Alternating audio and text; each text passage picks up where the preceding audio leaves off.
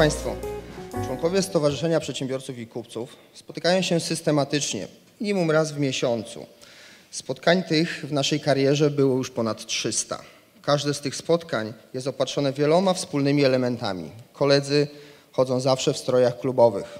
Krawaty, marynarki czy klubowe proporczyki przy klapie. Dodatkowo każde spotkanie rozpoczyna ten sam dźwięk. Można powiedzieć bicia w dzwon.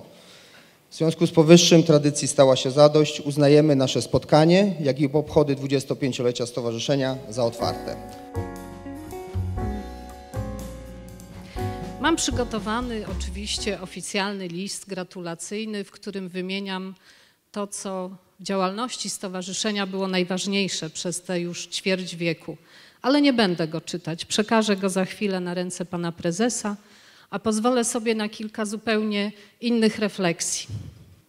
Myślę o tych wszystkich wspólnych chwilach, które spędziliśmy nie tylko na oficjalnych spotkaniach, ale także na wspólnych rajdach, piknikach, na imprezach kulturalnych. Z wieloma łączy mnie więź przyjacielska, koleżeńska. Spotykamy się tu codziennie w Świdnicy i cieszę się, że dzisiaj w takim właśnie charakterze. Przypomnę, że przez wiele lat byłam rzecznikiem stowarzyszenia, współtworzyłam stronę internetową. Z nostalgią patrzę na te kroniki, w których tak wiele wpisów dokonałam swoją ręką. E, I tak jak mówię, to też jest kawał mojej historii, historii mojego życia, historii mojego życia w Świdnicy. Bardzo serdecznie Wam dziękuję za ten czas, za te 25 już lat, bo z większością z Was tyle właśnie się znam. Także jest to także taki mój jubileusz. Co do roli panów w życiu Świdnicy, jest ona niezwykle ważna. Przypomnę, że jesteście jednym z najstarszych stowarzyszeń gospodarczych w Polsce. Oczywiście wszyscy wiemy, i muszę to powiedzieć głośno, że gdyby nie Edward, to pewnie byłoby różnie. Więc dla niego specjalne podziękowania i specjalny ukłon, bo to dzięki jego wytrwałości i bardzo, bardzo ciężkiej pracy to stowarzyszenie dziś obchodzi tak piękny jubileusz, a ja oczywiście liczę na kolejne. Dziś mówię do Was jako samorządowiec i zawsze to podkreślam, że dla rozwoju miasta, dla rozwoju gminy ważny jest rozwój przedsiębiorczości. Najważniejszy. Każdy zakład, który trwa, ten miejscowy, ten rodzimy, każdy zakład, który się rozwija, który tworzy miejsca pracy, to jest wartość najważniejsza dla każdego miasta. Dlatego będę przez kolejne lata mocno Wam kibicować, trzymać kciuki za Was i mam nadzieję, że Wy będziecie trzymać kciuki za mnie.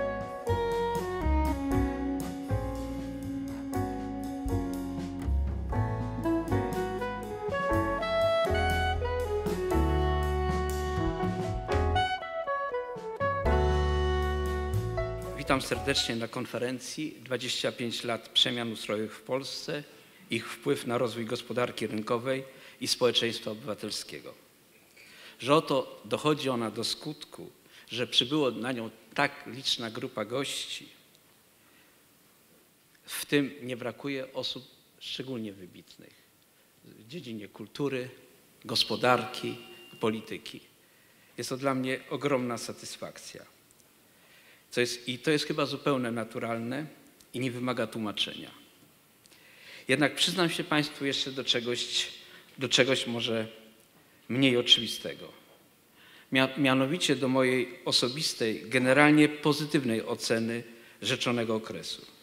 Wynika po części to z ludzkiej natury, że pozytywne doświadczenie osobiste przekłada się na tendencję do podobnej oceny również okoliczności i warunków, w których to doświadczenie się dokonało. Zapatrzeni w przeliczne parametry ekonomiczne zapominamy, że kapitalizm, ustrój nieustającej innowacyjności to ustrój oparty na wierze.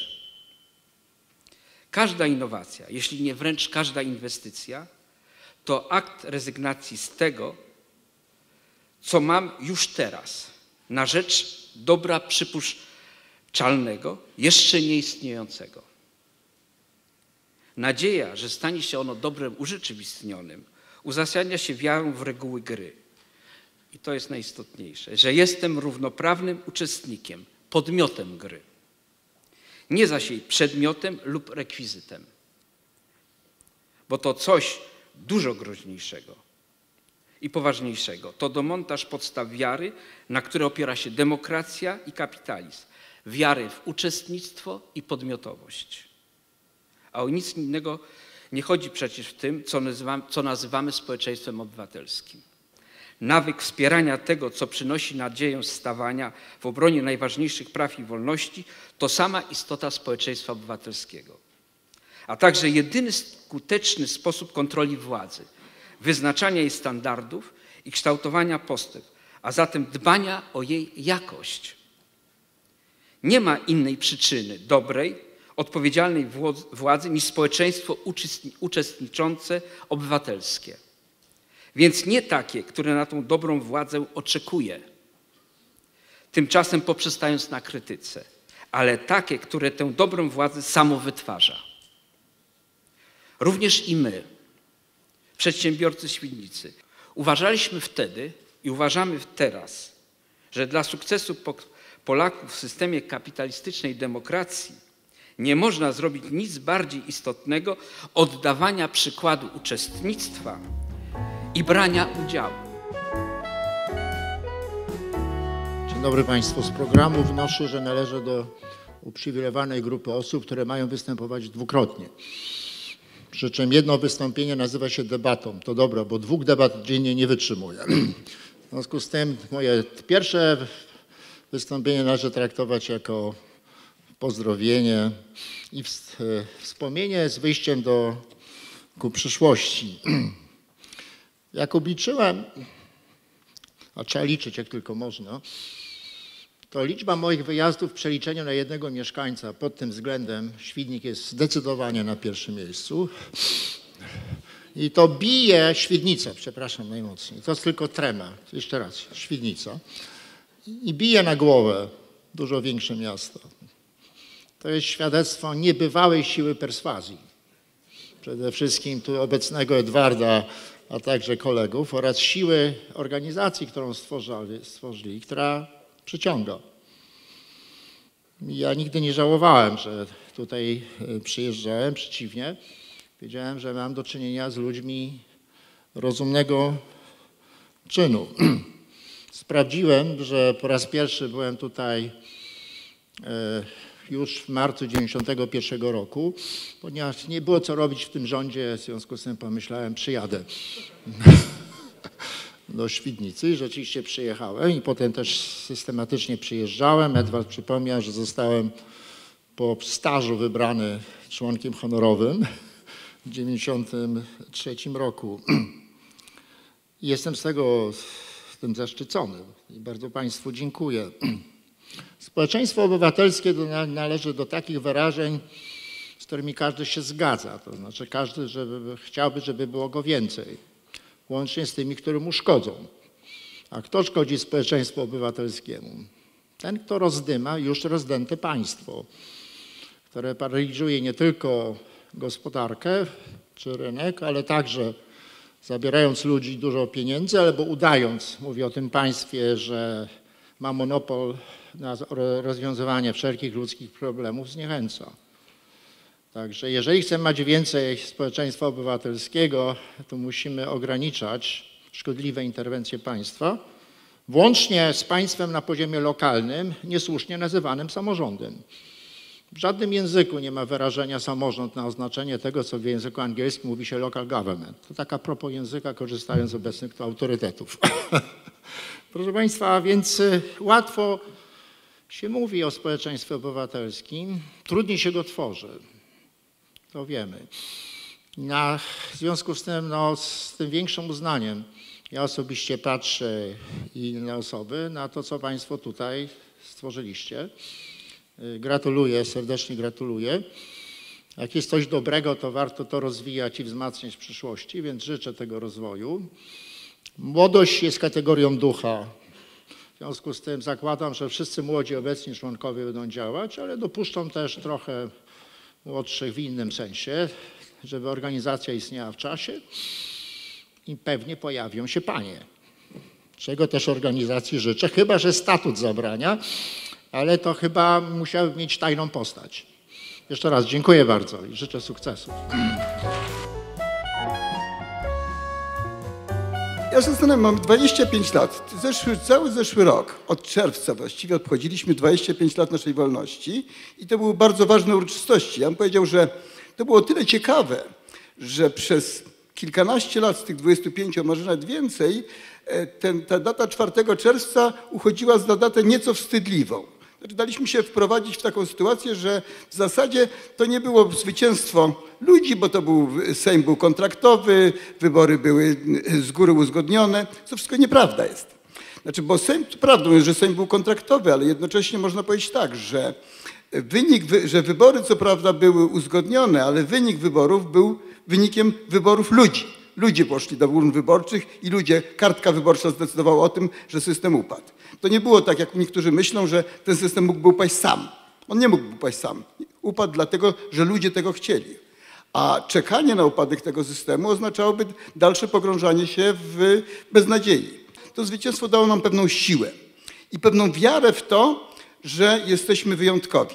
Ja pamiętam, jak myśmy się wtedy spotykali z e, naszymi następcami, z ludźmi e, dem- demokracji, czy to z dawnego NRD, czy z dawnego Związku Radzieckiego, z Czechosłowacji e, i byliśmy wtedy tacy przekonani o tym, że ta droga, którą wyznaczyła Solidarność, którą wyznaczyli polscy wyborcy, że ta droga jest drogą wyjątkową, że uda nam się pójść drogą zupełnie wyjątkową, omijając pewne powiedziałbym, meandry systemu, który, sys- systemu wolnorynkowego i systemu kapitalistycznego. Okazało się, że jest to nieprawda, że taka wiara jest wiar- wiarą czystą, czystą utopię, podobnie jak wiara w to, że można tworzyć, tworzyć państwo poprzez ruch obywatelski. Myśmy wierzyli w to, że ruch obywatelski Solidarności będzie takim ruchem, który będzie ruchem ponadpartyjnym, który będzie umiał ogarnąć wszystko. Nie udało się, powiedziałbym na szczęście. Dobrze, że się nie udało. Dlatego, że nie tworzyliśmy żadnej, nie próbowaliśmy tworzyć żadnej utopii. I w pewnym sensie okazaliśmy się tak sami jak reszta. Dwie reformy, które wówczas zostały przeprowadzone, były reformami, które różnią nas od wszystkich innych krajów. Były to reforma, reforma gospodarcza i reforma samorządowa. Leszek co prawda nie zgadza się ze słowem samorząd, no ale tak już jest w naszym języku, że to nazywamy to samorządem. E, Ale i te dwie reformy były reformami niezwykle odważnymi i niezwykle ważnymi. One pozwoliły, obie pozwoliły wyzwolić energię Polaków. One stworzyły szansę dla każdego człowieka, aby uczestniczył zarówno w życiu gospodarczym, stać się przedsiębiorcą, być, ten, ale także w życiu, w życiu publicznym.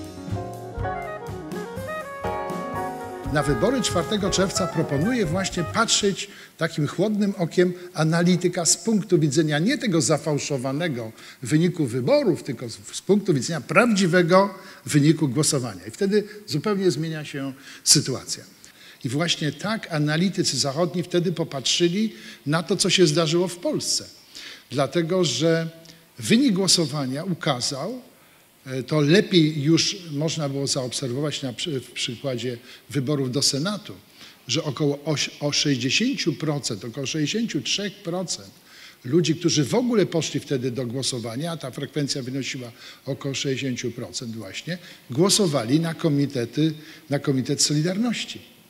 I to spowodowało, że druga strona no, wpadła w przerażenie. Niedawno miałem możliwość wysłuchania bardzo ciekawych refleksji pana profesora Rejkowskiego, który właśnie w 80, 80, 88, 89 roku był członkiem biura politycznego Komitetu Centralnego i opowiadał, jak ten fakt został odebrany właśnie przez tamte gremia, bo oni na nie popatrzyli nie z punktu widzenia wyników wyborów, tylko wyników głosowania.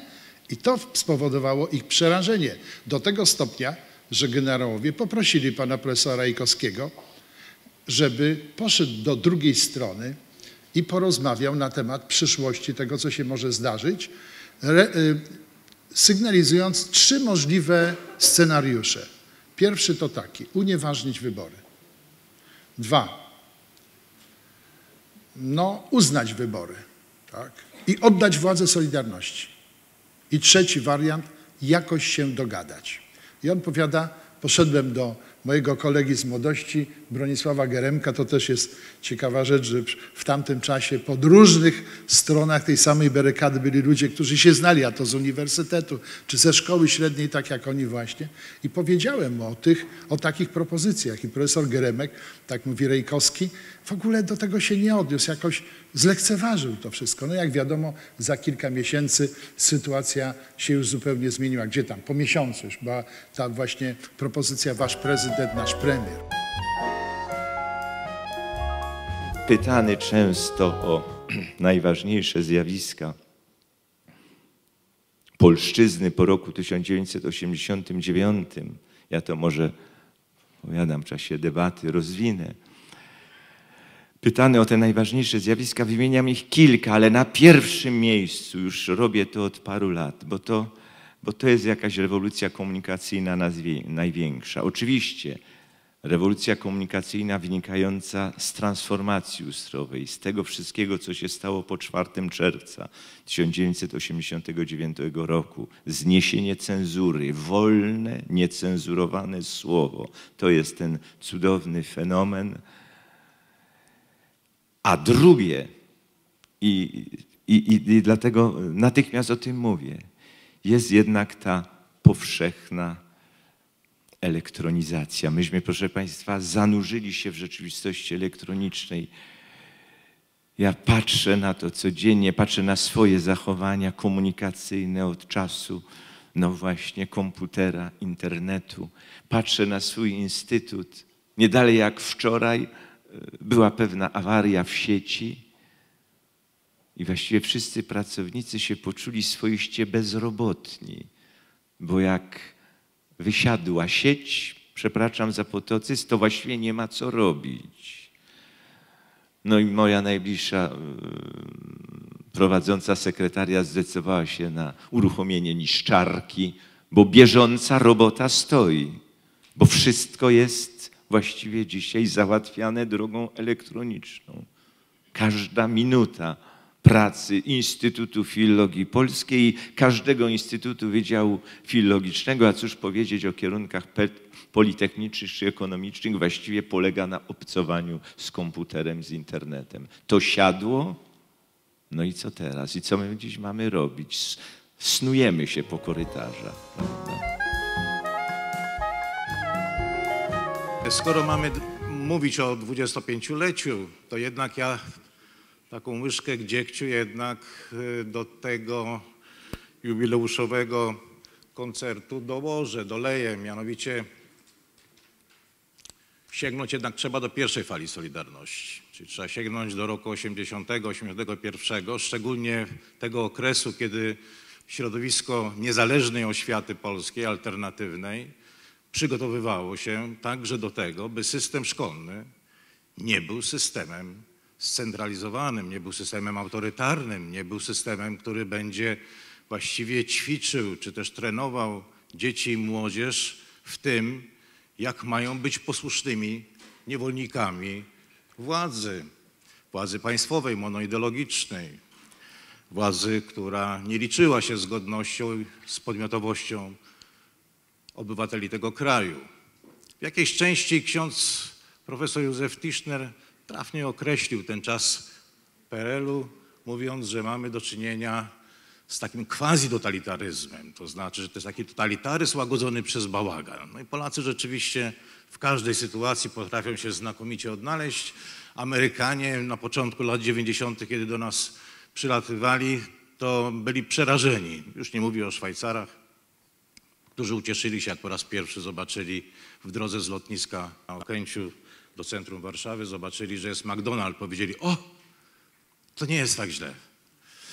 No, może to jest też jakiś wskaźnik tych pierwszych lat e, przełomu, a wtedy współpracowałem z nauczycielami szkół szwajcarskich, właśnie dlatego, że doskonale czułem intencje, przesłanie pierwszej fali Solidarności, by polska oświata była oświatą samorządem.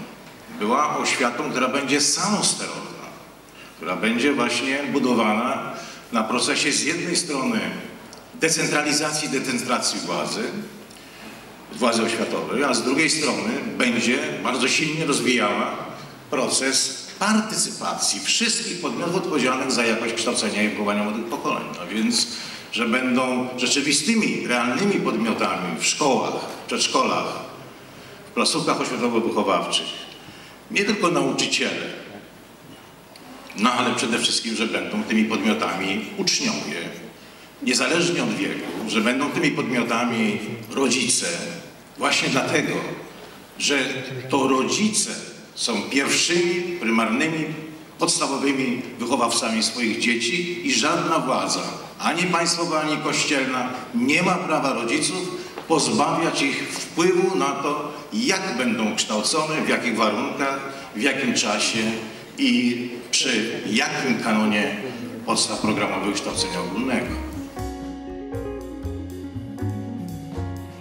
Dziś Fundusz Regionu Wałbrzyskiego jest znaczącą dolnośląską instytucją otoczenia biznesu, która ma na swym koncie prawie 23 lata doświadczeń w rozwoju mikro, małych i średnich przedsiębiorstw, a także wspieraniu osób rozpoczynających działalność gospodarczą.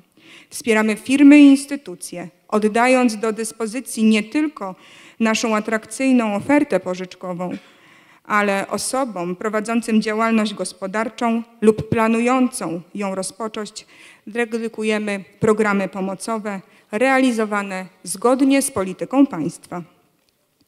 Biorąc pod uwagę innowacyjność w mikro, małych i średnich przedsiębiorstwach, e, głównym punktem e, rozwoju strategii na Dolnym, e, które są głównym punktem strategii rozwoju województwa dolnośląskiego, Sami intensywnie pracujemy nad tym, aby oferować usługi nowoczesne, dostosowane do potrzeb firm i wychodzące naprzeciw oczekiwaniom nowych branż i technologii.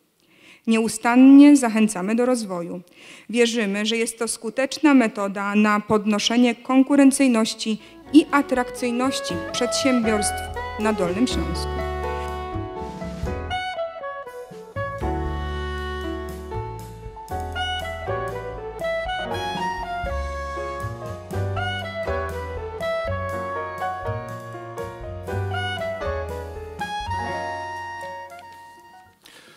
Dzień dobry Państwu. Wkraczamy teraz w etap nagradzania ludzi, których widzimy, że są ludźmi wybitnymi. Jedną z takich nagród jest Nagroda Wiecznego Pióra, która przyznawana jest przez stowarzyszenie, a mówiąc tak dokładniej, przez Klub 25, który istnieje w stowarzyszeniu. Jest to klub, który skupia 25 osób, członków stowarzyszenia.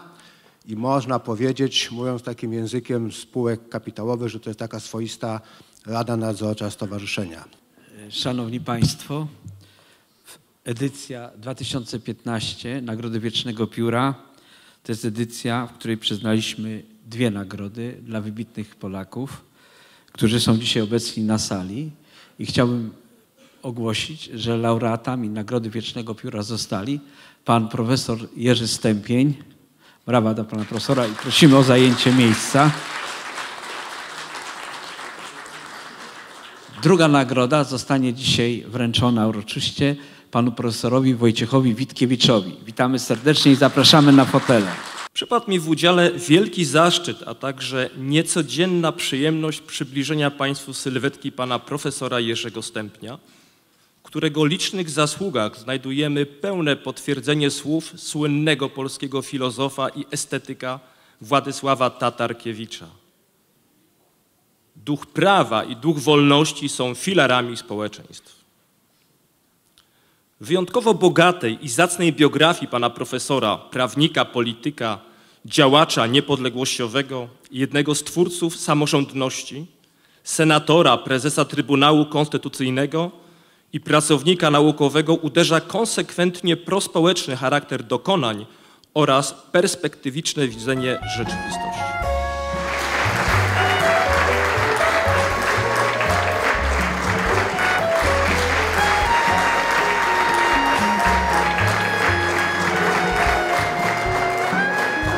Jestem wzruszony, dziękuję, dziękuję bardzo. Traktuję tę nagrodę jako zachętę do tego, żeby może więcej pisać, a mniej mówić.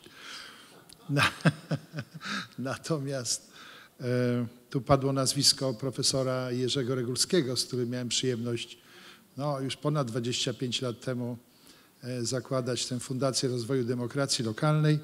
Jak wiemy, pan profesor odszedł od nas 12 lutego e, no, tego roku. No i przypadł mi, że tak powiem, obowiązek, ale bardzo zaszczytny i miły prowadzenia tej fundacji i kontynuowania misji. Także mam nadzieję, że ta nagroda też będzie mi bardzo pomocna w tym dziele, powiem, że zasadniczym. I taka anegdota, mianowicie e, w 1989 roku, kiedy pisaliśmy wspólnie z Michałem Kuleszą ustawę o samorządzie terytorialnym, notabene była to pierwsza ustawa pisana z użyciem komputera. To w pewnym momencie, kiedy już mieliśmy taką gotową prawie wizję, powiedziałem do niego, słuchaj, wydaje mi się, że już nigdy w życiu nie będziemy robili niczego ważniejszego. I, i później wielokrotnie w rozmowach wracaliśmy do tego momentu, rzeczywiście, bo to, co wtedy zrobiliśmy, zadecydowało o wszystkim tym, co działo się później. Dostojny laureacie, panie i panowie.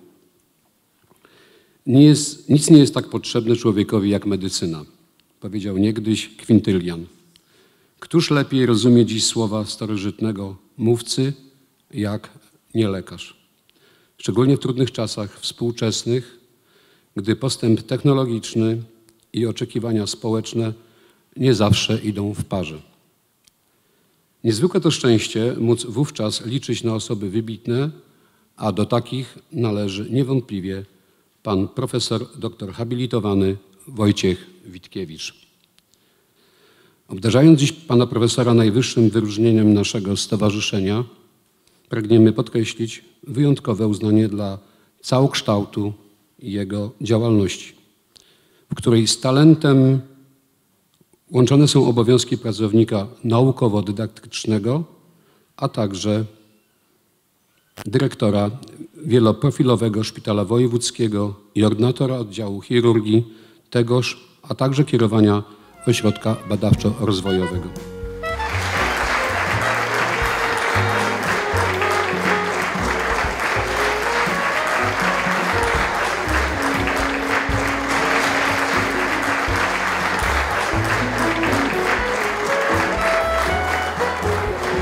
Piękne panie, dostojni panowie.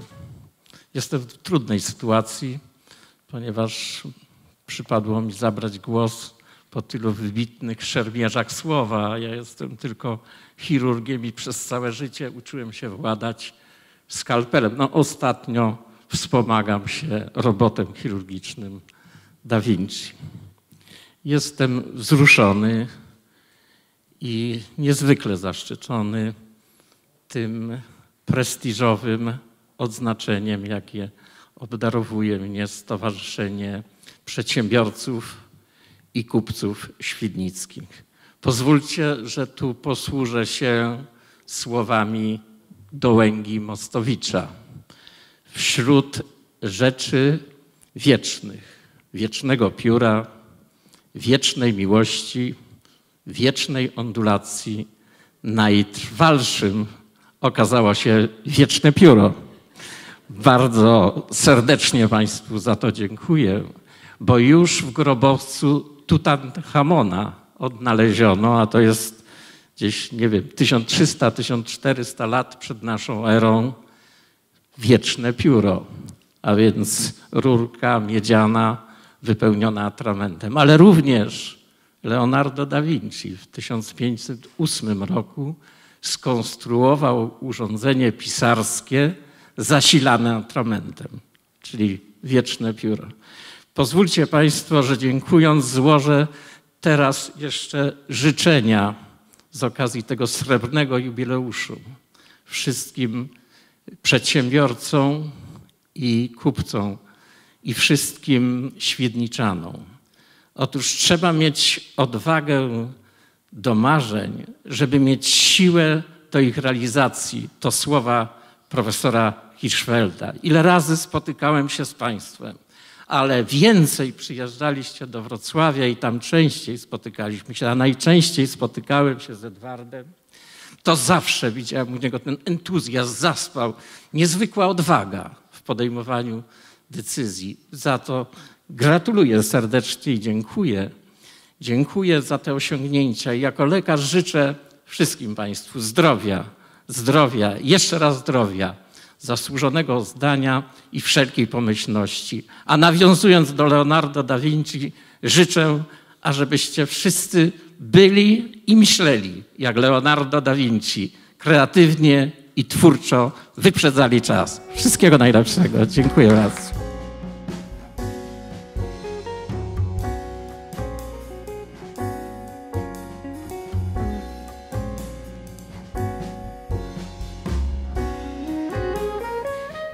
Nie mam jednego wielkiego prezentu. Pomyślałam sobie, że dziś jest taka okazja, żeby każdemu z Was wręczyć drobiazg indywidualnie. Bo z tymi nagrodami to tak jest, że jest jedna i nie wiadomo, jak ją potem podzielić, a Was jest ponad 40. Więc później pozwolimy sobie e, z panami prezydentami, bo są dziś moi zastępcy, pan Marek Suwalski, pan Szymon Hojnowski, wręczyć taki drobiazg o Świdnicy z serdecznymi podziękowaniami ode mnie, od nas za te 25 lat. Dziękuję bardzo.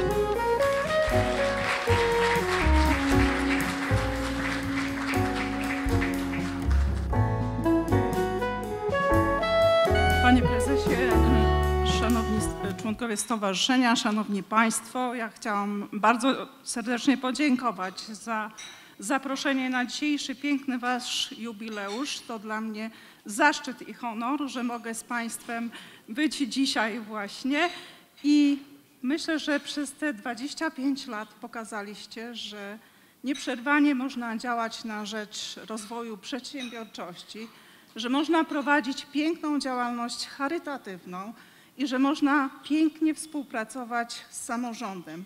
Za tą współpracę ja szczególnie dziękuję i myślę, że to również będzie podkreślane przy następnych, kolejnych pięknych jubileuszach, czego życzę, że e, na trwale wpisaliście się tutaj w życie e, ziemi świdnickiej i proszę o jeszcze, o dalszy rozwój e, przedsiębiorczości, bo jesteście nam naprawdę bardzo potrzebni, o dalszą działalność charytatywną i o dobrą współpracę z samorządami. Wszystkiego najlepszego, miłego świętowania dzisiejszego jubileuszu i da dalszych pięknych inicjatyw.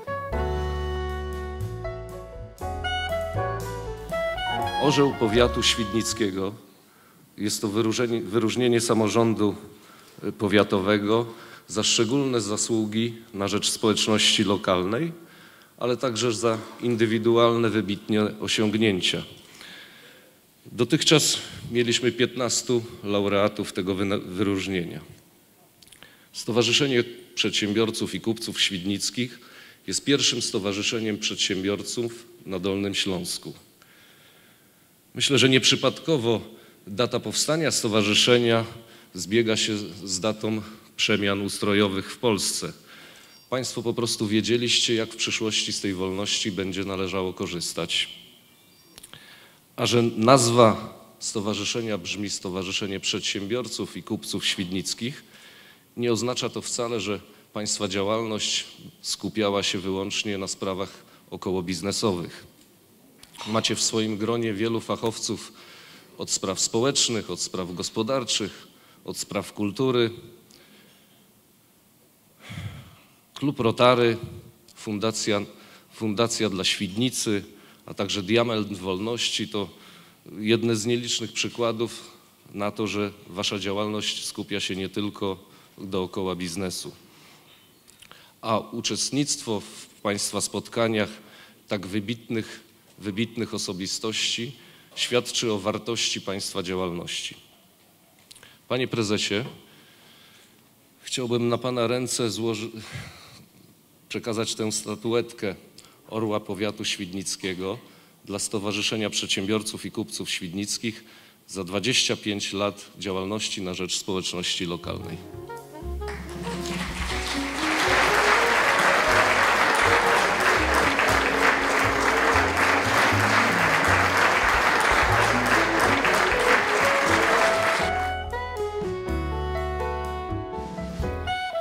dzisiejszy dzień, dzisiejsze święto to okazja do gratulacji, życzeń, podziękowań. Ja dlatego chciałbym bardzo serdecznie pogratulować, że 25 lat tak pięknie, wspaniale działacie, współdziałacie z innymi organizacjami związanymi z samorządem gospodarczym i za to Wam bardzo serdecznie dziękuję. Dziękuję za wsparcie rzemieślników, przedsiębiorców. Chciałbym y, również złożyć życzenia Wam, życząc Wam wszelkiej pomyślności, wszelkiego dobra, życząc przede wszystkim dużo zdrowia. Mówią, że chociaż zdrowie w życiu nie jest wszystkim, to wszystko bez zdrowia jest niczym. Edku i tego Wam, członkom Waszego stowarzyszenia z całego serca życzę i te życzenia są od bratniej organizacji, od braci rzemieślników Dolnego Śląska. Y, Chciałbym również podziękować. Podziękować y, Edkowi, prezesowi Edwardowi, podziękować całemu stowarzyszeniu i to podziękowanie będzie podziękowaniem, uhonorowaniem, najwyższym odznaczeniem, jakim jest złoty medal Jana Kielińskiego, naszego patrona, mistrza szefstwa, pułkownika. To odznaczenie chciałbym wręczyć dzisiaj dostojnemu jubilatowi, prezesowi, założycielowi Stowarzyszenia Edwardowi Szywale. Ale chciałbym, żeby to miało jeszcze większą wartość, większe podkreślenie dzisiejszej sytuacji i podziękowanie, złożyć, y, uhonorować prezesa Edwarda w asyście naszego honorowego mistrza rzemiosła, jakim jest pan profesor Miodek, którego bardzo będę prosił tutaj, aby wraz ze mną uhonorował naszego dostojnego prezesa i również chciałbym poprosić pana profesora Wojciecha Witkiewicza, który jest y, też właśnie, był uhonorowany złotym medalem Jana Kilińskiego. Chciałbym w, w asyście tych dwóch osób uhonorować naszego przyjaciela.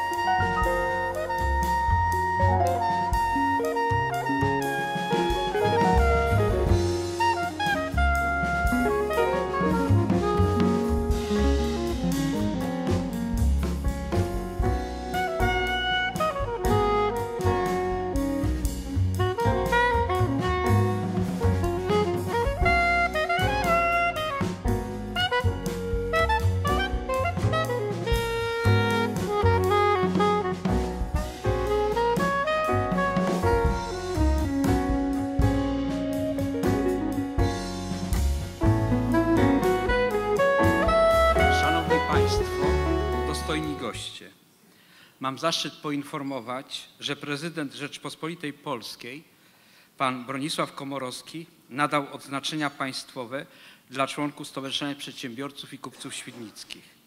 Aktu dekoracji w imieniu prezydenta Rzeczpospolitej Polskiej dokona doradca prezydenta Rzeczpospolitej Polskiej pan Jan Lityński.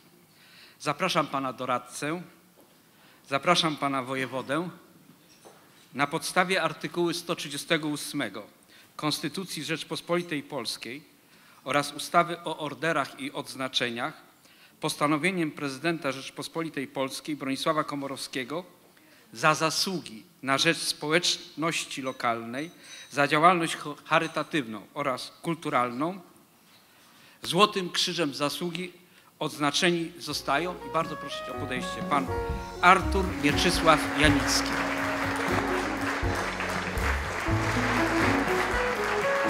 Pan Jerzy Kubara.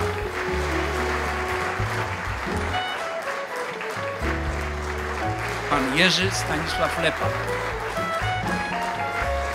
Pan Piotr Snopczyński. Srebrnym Krzyżem Zasługi oznaczeni zostają pan Władysław Duduś, pan Maciej Wiesław Orski, pan Ryszard Rodziewicz, pan Marian Sporobowicz,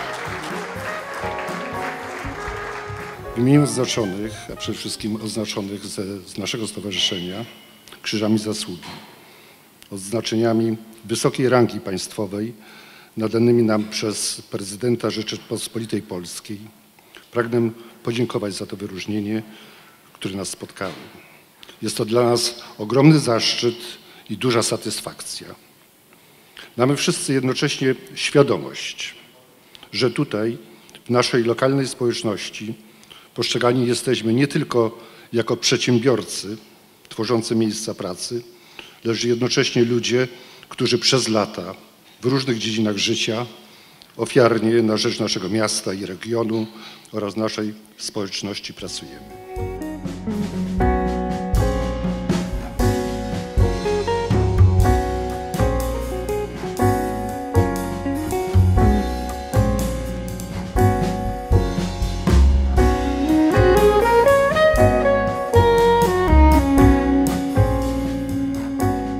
Państwo, ponieważ mamy godzinę, ja nie będę zbytnio przeciągał rozpoczęcia naszej debaty, e, ale mam pomysł, zdradzę od razu kogo, profesora Balcerowicza, rezygnujemy z obiadu, więcej dyskutujemy. Pa to była zgoda, to była zgoda. E, szanowni Państwo, Szanowni Panowie, e, ponieważ mamy dyskutować, to od razu Pana Profesora Miotka poproszę o wsparcie. Dyskusja, dopuszczalne, delikatnie to określę, przerywanie wtrącanie. I y, w związku z tym, że pan profesor Miodek jest y, wśród nas, to też przygotowałem sobie definicję y, słownikową pierwszej rzeczy, o którą chciałem zapytać, czy my jako społeczeństwo po 25 latach mm, nie spoczęliśmy na laurach i zacytuję słownik, zadowolić się osiągniętymi sukcesami, przestać się rozwijać, kształcić. Bo jak popatrzymy sobie na to, co często pojawia się, szczególnie wśród rządzących, ale, ale nie tylko, to pokazujemy, jak my szybko rozwijamy się na tle Unii Europejskiej. Minister Szczurek mówi o tym, że polski wzrost gospodarczy skumulowany od 2007 roku to Mont Blanc, a Unia Europejska to Górka Szczęśliwicka. Tak, e, tak mówi. Czy my, czy nas nie za bardzo chwalą? Panie profesorze, czy my trochę nie zadowoliliśmy się tym, co zrobiliśmy i, i przestaliśmy się rozwijać w różnych dziedzinach? Nie zmieniamy prawa podatkowego. Ale pan jako reprezentanta społeczeństwa wymieni tylko ministra Szczurka. Czy on jest reprezentatywny dla społeczeństwa? Podałem tylko jego cytat. Słucham? Podałem tylko cytat z ministra No Szczurka. dobrze. Nie. Proszę Państwa, proszę zauważyć, że no, najwięcej komplementów pod nasz, do pewnego stopnia własnym adresem wypowiadają politycy. Co nie znaczy, że nie ma jakichś powodów. Ale generalnie jest tak. Każdym kraju, nawet bogatym, ogromna większość ludzi chce lepszego życia. Co obejmuje również rzeczy materialne. To jest zupełnie naturalne. To, czy oni są w stanie zaspokajać te aspiracje, w ogromnym stopniu zależy od ram dla działalności ludzkiej, czy to przedsiębiorczej, która jest absolutnie podstawą, czy w społeczeństwie obywatelskim. Jeżeli te ramy się nie poprawiają na czas, to zdecydowana większość tych ludzi, którzy chcą lepszego życia, nie zaspokoi aspiracji. Teraz w Polsce to, co się zdarzyło po 2008 roku, przesłania problemy, które trzeba rozwiązywać. Faktem jest, że nasz PKB zwiększył się o 18%, liczyć 2014, a powiedzmy... Minister Szczurek mówił 22,8. Dobra, niech będzie 22. Od 2007. No to na jedno wychodzi. No. Słowacja trochę jest za nami i tak dalej. Ale patrzeć na krótką metę i na tej podstawie starać się określić, co będzie dalej, to jak jechać samochodem na światłach postojowych. My mamy przed sobą stuprocentową groźbę, że nie będzie dalszych reform, trwałego spowolnienia rozwoju polskiej gospodarki do poziomu 2%. Mniej więcej. I nikt o tym nie mówi.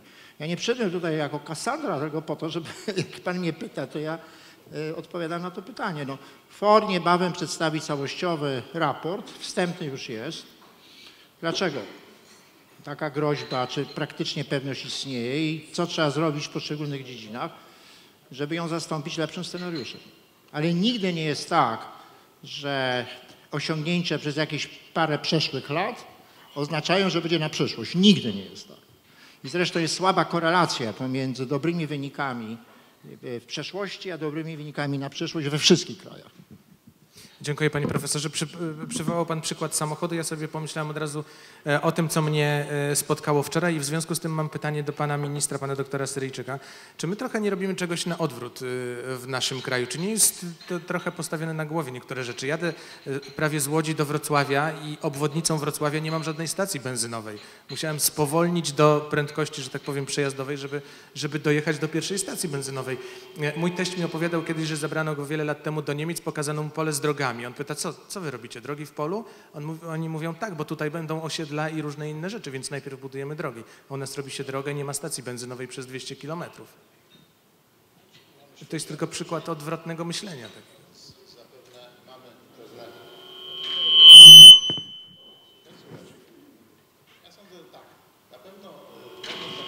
sposobu myślenia strategicznego, żeby wszystko było ułożone po kolei.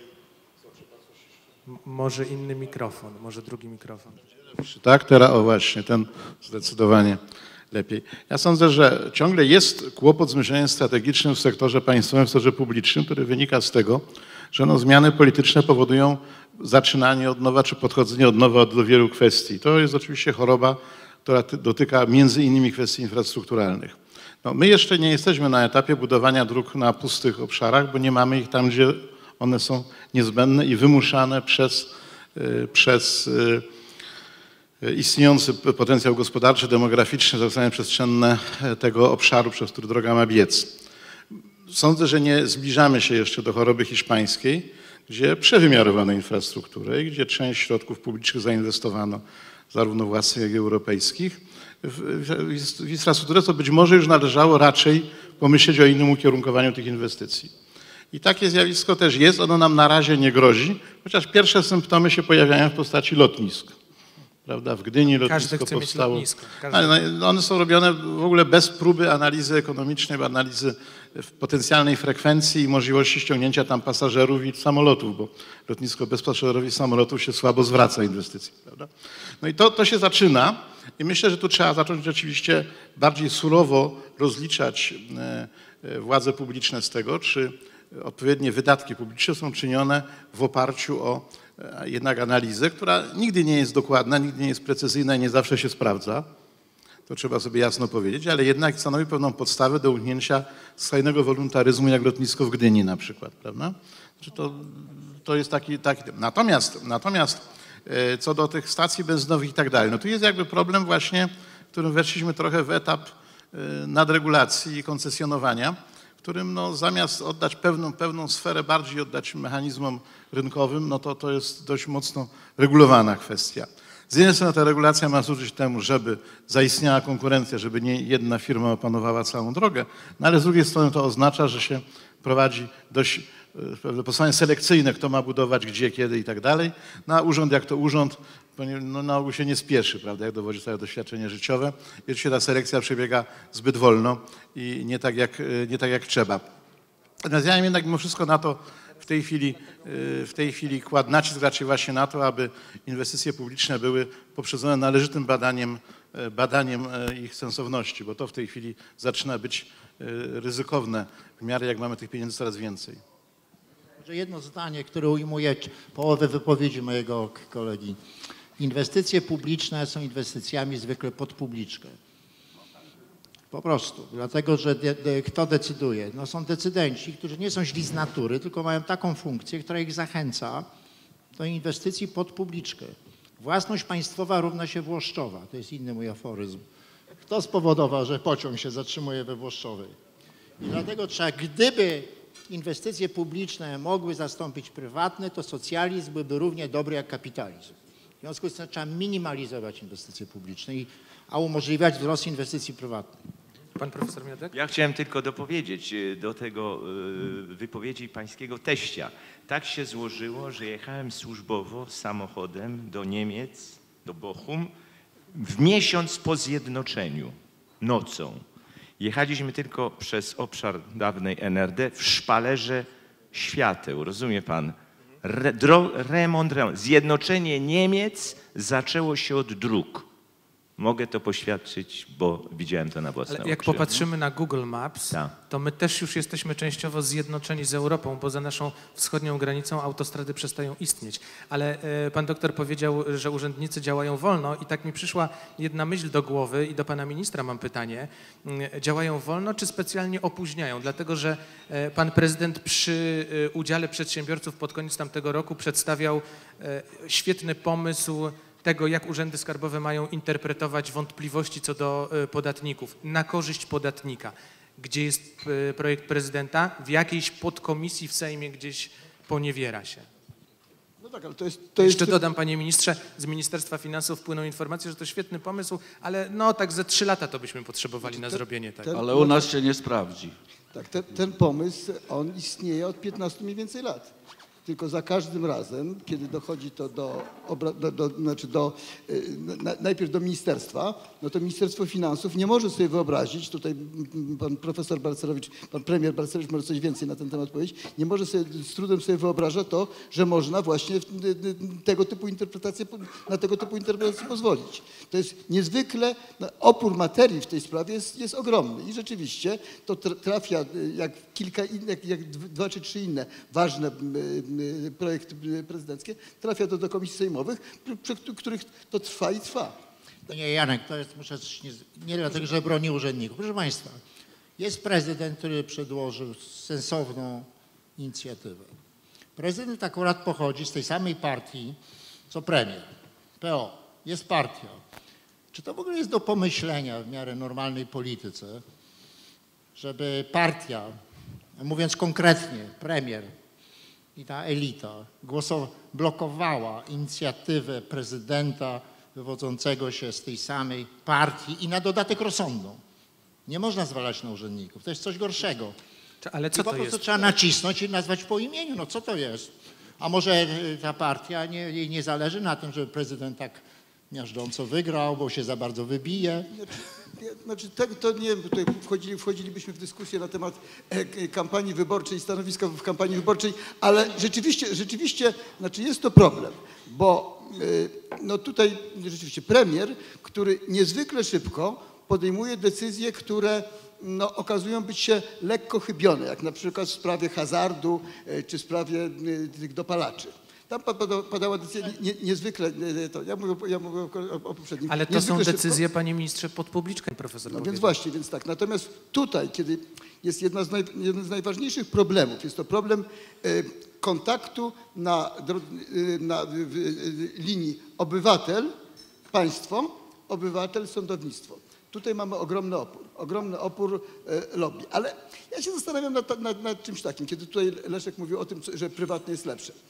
Proszę Państwa, nie wiem, czy Państwo pamiętacie takie nazwisko, chyba bodajże, ja też dokładnie nie pamiętam, bodajże Walczykiewicz. Chyba nikt nie pamięta, jego przed pewnym momentem nikt nie znał i potem go nikt nie znał. On był przez dwa tygodnie prezesem państwo, państwowej firmy PKN Orlen. Przez dwa tygodnie. Po tych dwóch tygodniach... Co? Odprawa? Po tak, po tych dwóch tygodniach on zgłosił się do tejże firmy, no, pewnie coś dokonał, o odprawę w wysokości 10 milionów. To oddaje sytuację w państwie, kiedy mamy do czynienia z, e, zamiast z, wolną, z wolnym rynkiem, mamy do czynienia z monopolem państwa na pewne organizacje. Monopol państwa jest niekiedy potrzebny. Niekiedy potrzebny. Niekiedy nie, e, to, e, to kontrola, ko, tak, ale także przy niektórych instytucjach gospodarczych monopol, monopol państwa jest, jest niekiedy potrzebny. Natomiast nie widać absolutnie powodów, żeby wiele w tej chwili istniejących firm, firm państwowych, żeby to, żeby te firmy, po pierwsze, dobór menadżerów do tej firmy dobiera się na zasadzie czysto politycznej. I próby zmiany tego natrafiają na ogromny opór. Po drugie, te zarobki tych menadżerów, bo- ja trochę mówię w cudzysłowie, są nieproporcjonalne do y, y, y, korzyści, które y, przychodzi menadżerstwo.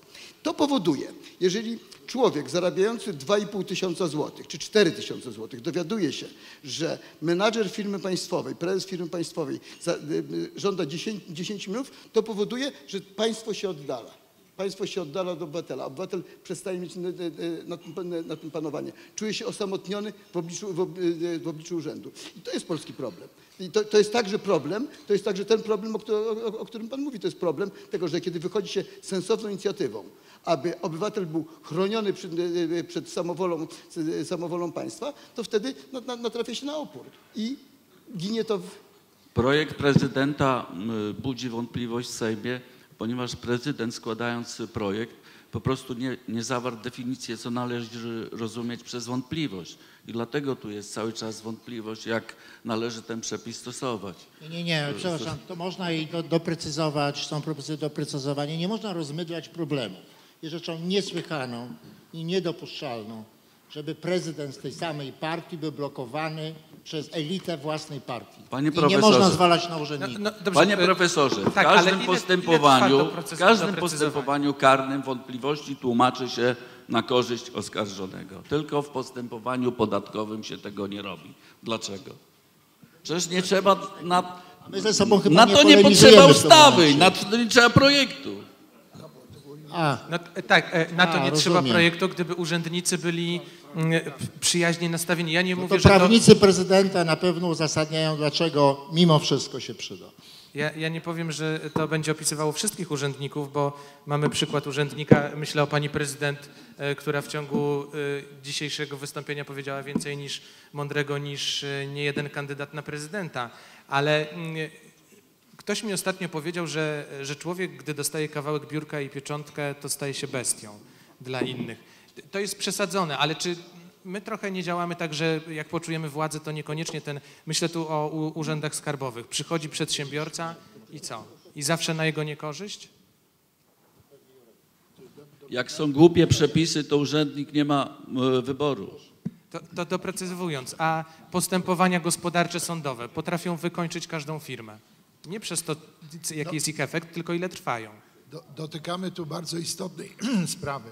Jeden z takich wybitniejszych e, myślicieli zajmujących się e, istotą cywilizacji współczesnych, e, e, francuski uczony Brodel, napisał w swoim wielkim dziele Gramatyka cywilizacji, że stan państwa zależy od trzech elementów.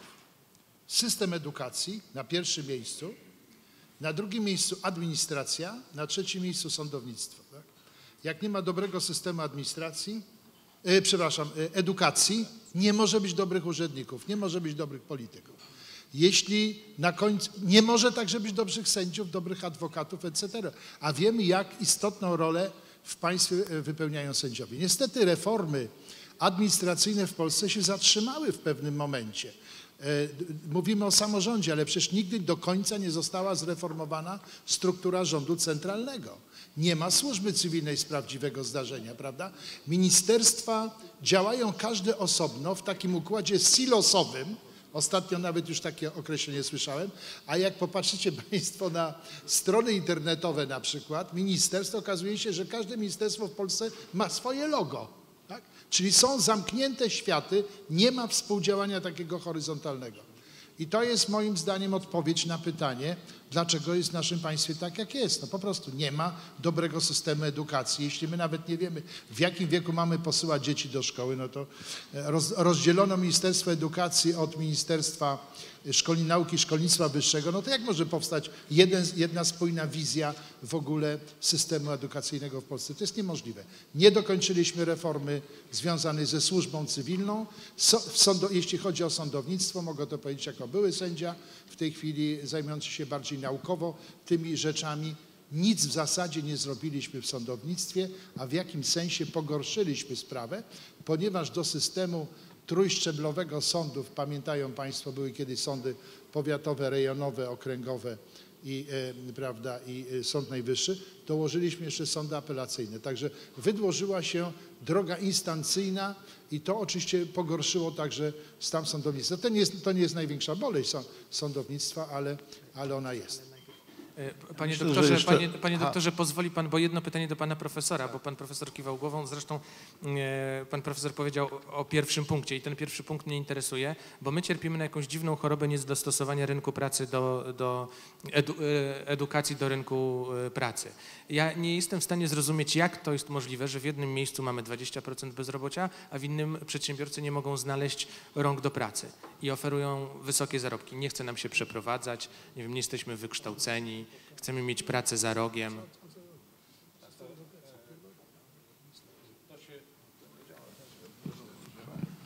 Tutaj y, mamy do czynienia z y, sytuacją, o której już wspomniał profesor Stępień.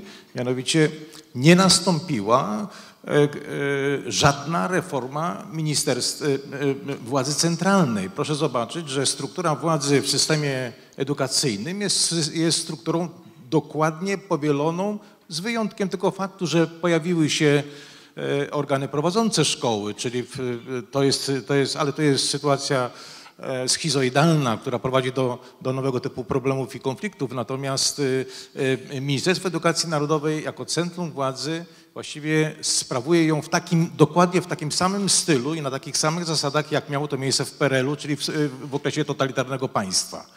E, A więc brak decentracji władzy e, powoduje, że e, organy prowadzące szkoły, samorządy de facto nie mogą kreować własnej polityki edukacyjnej, własnej polityki racjonalnej, dostosowanej do środowiska, do rynku, do rynku pracy, do aspiracji także dzieci i młodzieży, e, które w, danym środowisku występują i zupełnie są przecięte więzi e, z rodzicami e, i z partnerami szkół. Innymi słowy, nie da się kreować racjonalnej edukacji w systemie, kiedy wszyscy są uwięzieni w gorsecie autorytarnego systemu szkolnego. No nie może być tak, że się zarządza szkołami gadżeta, gadżetowo e, e, e, poprzez stosowanie jakichś trików public relation. To, o czym mówił tutaj profesor Balcerowicz, no rozwiązania pod publiczkę, prawda? Moim zdaniem skandaliczna kwestia elementarza bez konkursu, elementarza drukowanego bez jakichkolwiek przetargów publicznych, elementarza, gdzie e, autorem jest osoba totalnie niekompetentna. Prawda? To są skandaliczne błędy. y, ja To są wszystko się. wydatkowane w szkole nasze pieniądze. Córki na to, nauczyciele tak? rezygnują z tego elementarza, dają inne, inne, mm, y, inne Nie, to chodzi o zasadę, że władza, e, e, że władza e, e, narzuca nauczycielom, niszczy możliwość e, adekwatnego, różnicowej edukacji, różnicowej edukacji, pluralizmu edukacyjnego, a więc zdolności do kreowania lokalnej, środowiskowej edukacji także w klasie szkolnej, a, ale i, i, i w miejscu, gdzie ta szkoła e, ma miejsce. Pan doktor, y, pan doktor, ja, chciał pan powiedzieć y, przed panem profesorem coś, ale ja nie udzieliłem głosu. Tak? Nie? To ja, to ja, do Ja pana profesora, to ja do pana profesora Miotka, bo y, y, wspomniał, y, rozmawialiśmy o tym systemie edukacji. Ja się zastanawiam, panie profesorze, może wszyscy chcą być magistrami u nas? No, nie ma chyba drugiego takiego kraju, który ma tylu magistrów, szczególnie w naukach humanistycznych. No nie, nie tylko w naukach humanistycznych. Ja myślę, że... Ale o inaczej zapytam, panie Tak. profesorze. Czy określenie wykształcenie zawodowe Tak. ma u nas tak negatywne przesłanie, że nikt go nie chce mieć? Ja myślę, że ja nie wiem jak to było w skali kraju, ale y, w województwie dolnośląskim y, likwidacja wspaniałych techników, wie pan, z tradycjami, y, z zapleczem warsztatowym, po niemieckim, powiem wprost, mając na myśli technikum żeglugi śródlądowej, lotnicze zakłady na psim polu. Efekt był taki, że województwo dolnośląskie zajmowało przedostatnie albo trzecie od końca miejsce, jeśli idzie o efektywność matur. Prawda? Bo w tych liceach, profilowanych prawda, ta młodzież przy egzaminie dojrzałości no, padali wszyscy jak muchy. Poszedłby sobie do technikum, skończyłby, byłby fachowcem. To się teraz odkręca. Tak, tylko teraz... Yy, Ale ile lat to potrwa? Ale no, no właśnie. Prawda? Technikum Żeglugi y, Śródlądowej, miasto pięciu rzek, zlikwidowało Technikum Żeglugi Śródlądowej. Przyjeżdżała młodzież do nas z całej Polski, z Białego Stoku, z Przemyśla, z Koszalina, ze Szcześnia. Teraz gdzieś tam kątem pracują przy jak którymś z, z budynków y, na Popowicach. Prawda? To był bardzo wielki błąd. Likwidacja, likwidacja szkół typu technikum. Ja chciałem nawiązać do sprawy podręcznika, bo ona umyka, waga tego problemu umyka. Proszę Państwa, to było przywracanie kawałka PRL-u. Po pierwsze, żerowanie na mentalności z PRL-u, że darmowe jest lepsze i to cynicznie, jestem przekonany, że to było cynicznie zrobione, żeby zyskać popularność tych środowisk, a nadto przywracanie kawałka PRL-u w tym sensie, że niszczenie części sektora prywatnego, bo jak państwo korzystając z podatków rzuca coś na darmo, no to nie ma miejsca dla rynku. Jest niesłychanie niebezpieczny kierunek, który zresztą pokazuje, jak sądzę, że w Polsce mamy złą konwergencję partii politycznych. To znaczy partia obecnie największa bardziej zbliżała się do PiSu niż PiS do niej. Panie profesorze, ja jeszcze tak zastanawiałem się, o, mm, bo chciałem pana zapytać, ile trwa, gdybyśmy mogli jeszcze wrócić do wątku podatków, ile trwa przygotowanie całego systemu podatkowego od nowa? Czy to są lata? Ja akurat y, kiedyś sporządzałem przez dwa miesiące taką y, białą księgę podatków. No, dwa miesiące intensywnej pracy wystarczy, bez wielkich przerw. 15.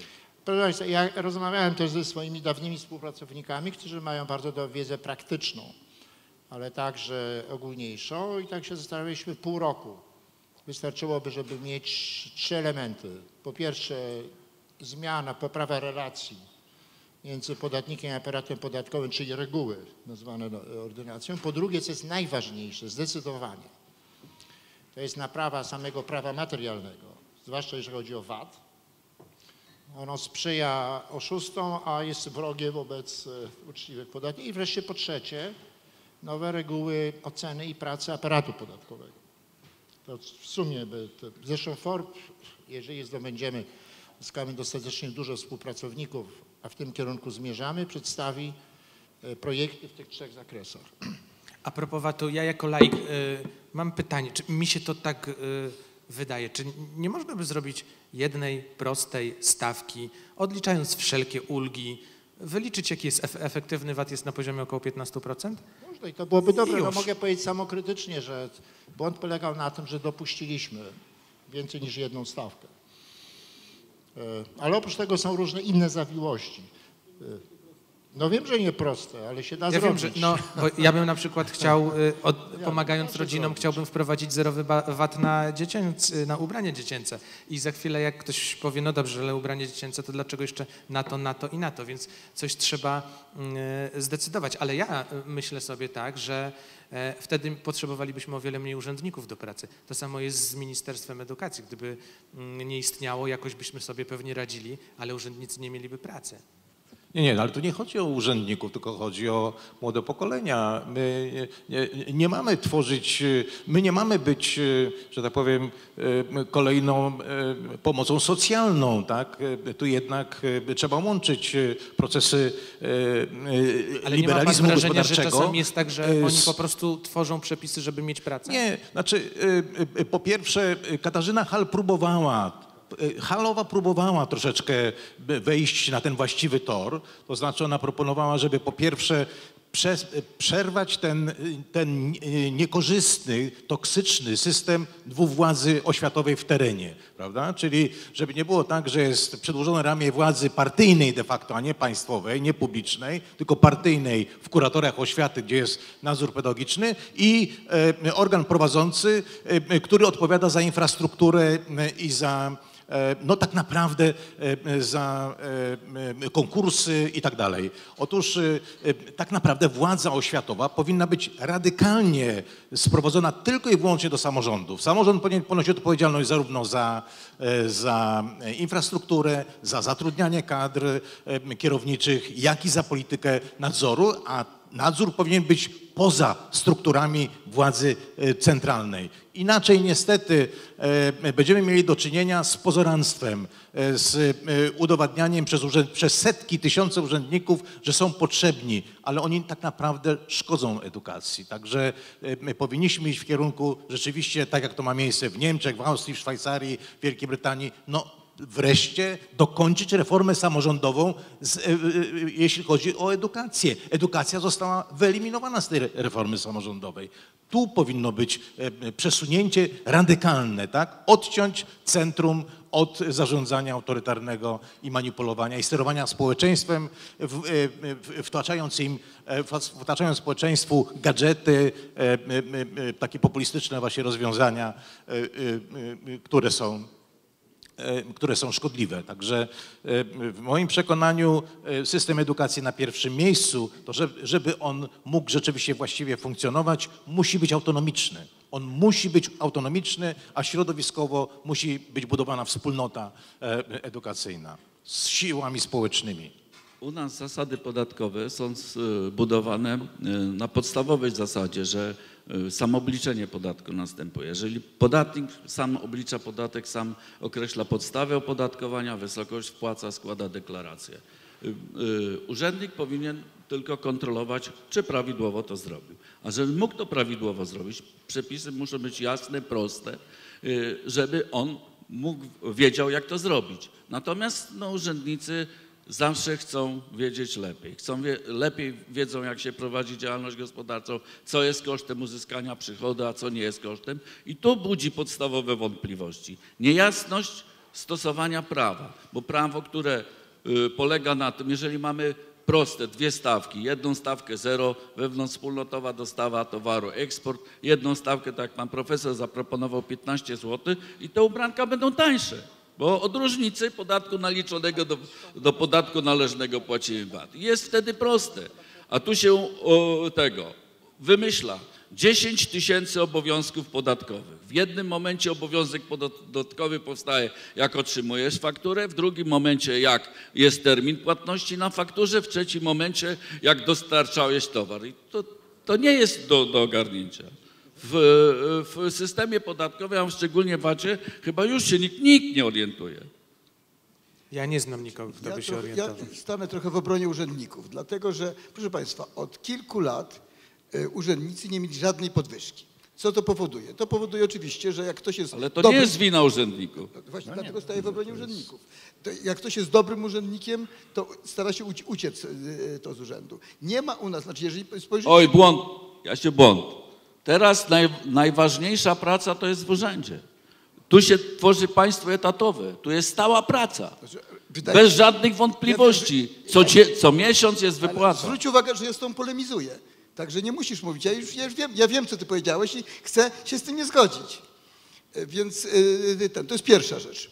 Drug, e, tego, ta- także jest, jest negatywny dobór do, e, tego, do, do urzędu. To nie jest tak do końca prawda, dlatego że jeżeli się spojrzy, tutaj pojedzie się tutaj po dawnym województwie obrzyskim, pojedzie się Świdnica, Dzierżoniów, zobaczy się jak wyglądają urzędy samorządowe, one wyglądają bardzo dobrze i urzędnicy zachowują w nich bardzo dobrze. Dlaczego? Dlatego, że wójt, czy burmistrz, czy prezydent bardzo dobrze wie, że, od zachowa- że zachowanie tych urzędników jest e, e, e, zależny, on jest zależny w następnych wyborach. W związku z tym, co on im wyznacza? Wyznacza im cele, które mówią, masz załatwiać problemy. Natomiast w urzędach centralnych jest nieco gorzej. Po pierwsze jest dobór negatywny, a po drugie urzędnik, na ogół urzędnik ma funkcję celu ma taką, żeby nie stwarzać problemów. Związku z tym e, e, ten, sprawa niezałatwiona może jest, jest sprawą dla niego korzystną. Sprawa załatwiona, w której może popełnić błąd, on się tego boi. Ja to wielokrotnie, e, to jak kiedy, teraz, kiedy pracuję w, e, w kancelarii prezydenta, to mi się zgłaszają ludzie z różnymi interwencjami. I urzędnicy mniej więcej tak odpowiadają, e, znaczy bardzo często tak odpowiadają, żeby nie mieć kłopotów. Jeżeli zmieni się stosunek zarówno władzy centralnej, do, urze- do, do urzędów. Jeżeli, urzędy, jeżeli od urzędów będzie się wymagało rozwiązywania problemów, a nie, nie, stwarzania, nie stwarzania problemów, to wtedy, wtedy, to się zmieni, ale to wymaga także, e, powiedziałbym, szacunku dla pracy urzędniczej, szacunku dla pracy służby cywilnej. Tego u nas niestety nie ma i to jest wynik polityki. Dlatego, że jeżeli się patrzymy na, na wszystkich szczeblach, tutaj mamy także szczeble mm, samorządowe, ilość nepotyzmu, który, wy- które występuje, ilość nepotyzmu, który występuje przy mianowaniu właśnie y, tych menadżerów instytucji, przedsiębiorstw państwowych, przy, przy, na poziomie... Na Panie poziomie, ministrze, próbowaliśmy wybrać prezesa ZUS-u ostatnio. no więc właśnie, to prezes ZUS-u to jest typowe, typowa kompromitacja tego, tego, typu, tego typu myślenia. Nie, e, e, ten, ktoś, kto w zasadzie wygrywa konkurs, poddany jest egza- egzaminowi, który jest kompletnie absurdalnym egzaminem, a nie bada się jego możliwości, znaczy jego, jego, ani nie bada się ani jego programu, ani możliwości, e, umiejętności zarządzania. Dziękuję. Ja od razu mi przychodzą do głowy najprostsze rozwiązania. Ja nie wiem, panie profesorze, czy takie jest możliwe, ale gdyby, e, gdyby było, to bym je pewnie wprowadził. Jak mamy tylu urzędników, którzy za mało zarabiają, no to trzeba jedną trzecią urzędników zwolnić i dać im 30% podwyżki tym, którzy zostaną. I odpowiedzialność, i odpowiedzialność. A, e, To się wiąże pracują- z odpowiedzialnością. Ja jeszcze jeden przykład własnego życia dam. Tak się złożyło, że jakiś czas temu zakładałem działalność gospodarczą. Oprócz tego, co na co dzień robię, założyłem sobie działalność gospodarczą. I przy czwartym okienku, podkreślam, przy czwartym okienku pytam, gdzie jest to jedno okienko, które mi obiecaliśmy. A pani urzędniczka z uśmiechem mówi do mnie, jedno okienko to jak pan będzie likwidował. Jak, bę- jak pan będzie likwidował.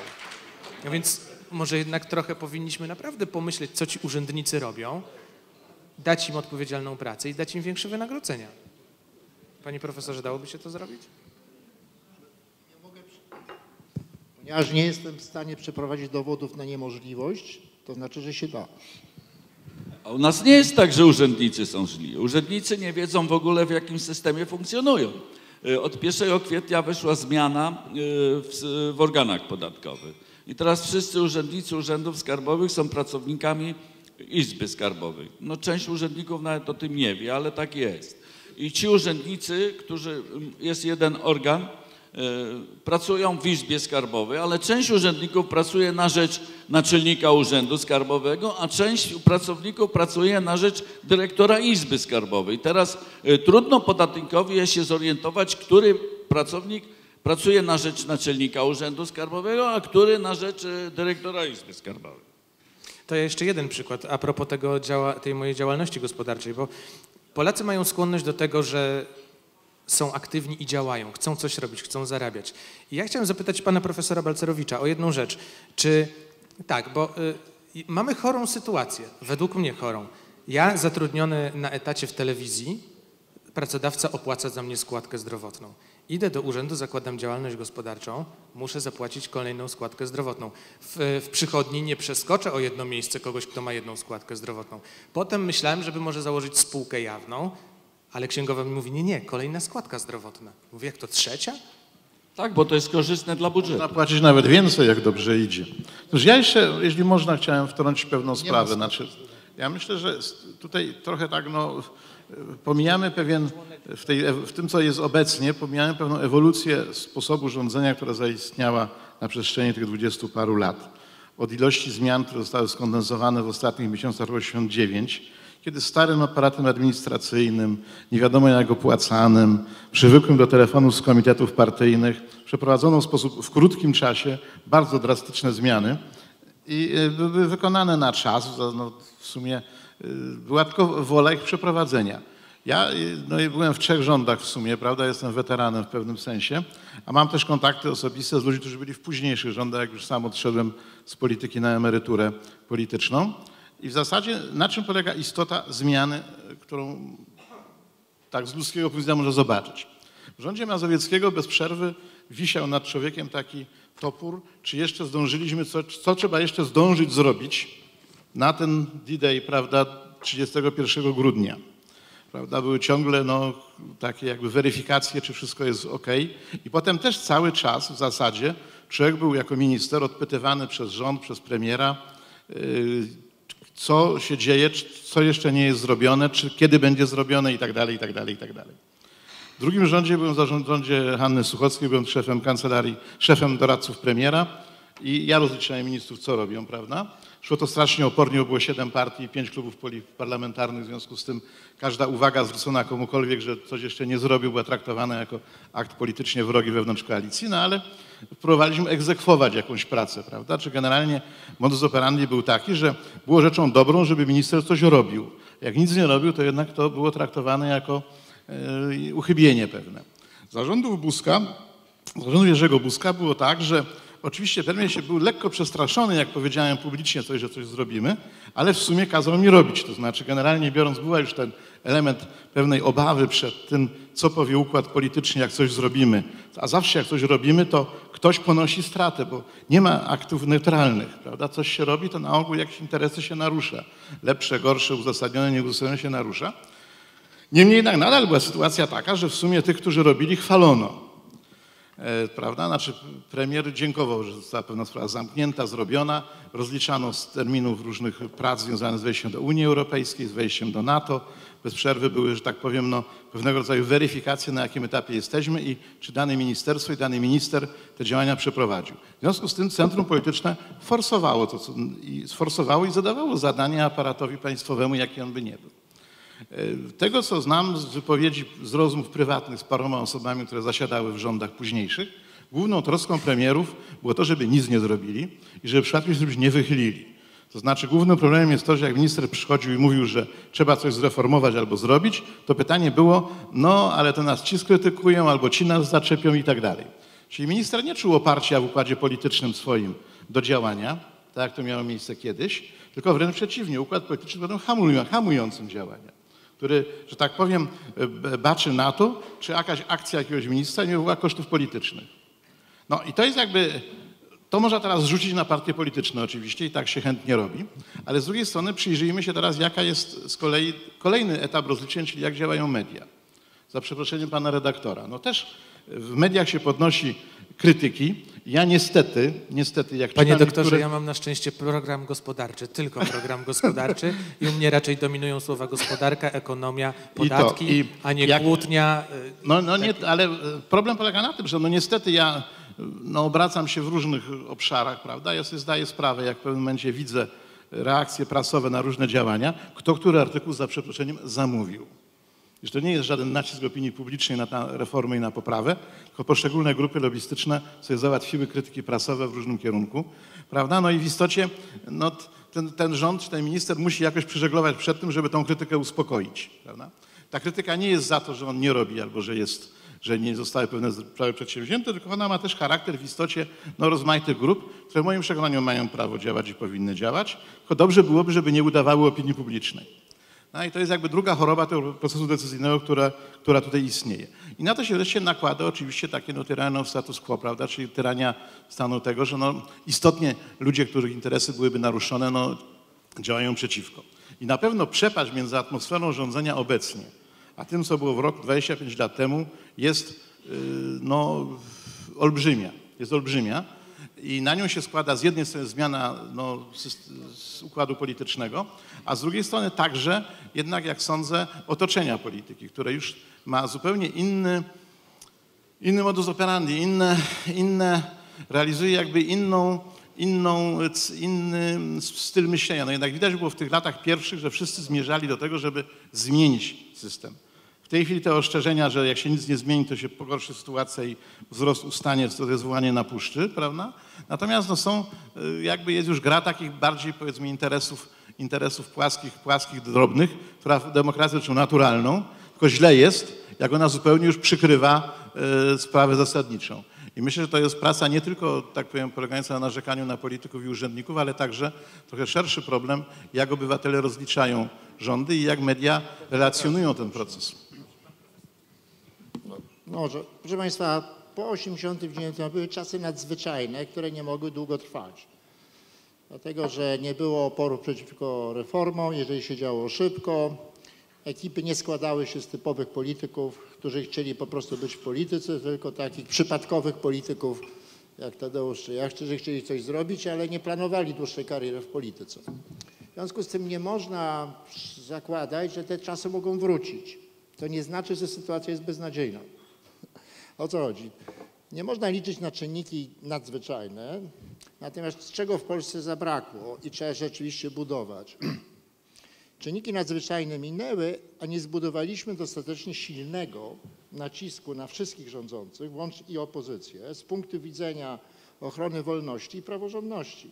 A w każdym kraju, czy to Stany Zjednoczone, czy Szwecja, czy Francja, zawsze są silne grupy etatystyczne czy ze względu na to, że chcą coś do, dostać od państwa, czy też ze względu na to, że nienawidzą wolnego rynku i kochają rozdęte państwo. Mnóstwo tego jest. Czyli ja widzę tylko jedno rozwiązanie, które nie, nie zrobi się przez wypowiedzenie formuły, tylko trzeba po prostu robić.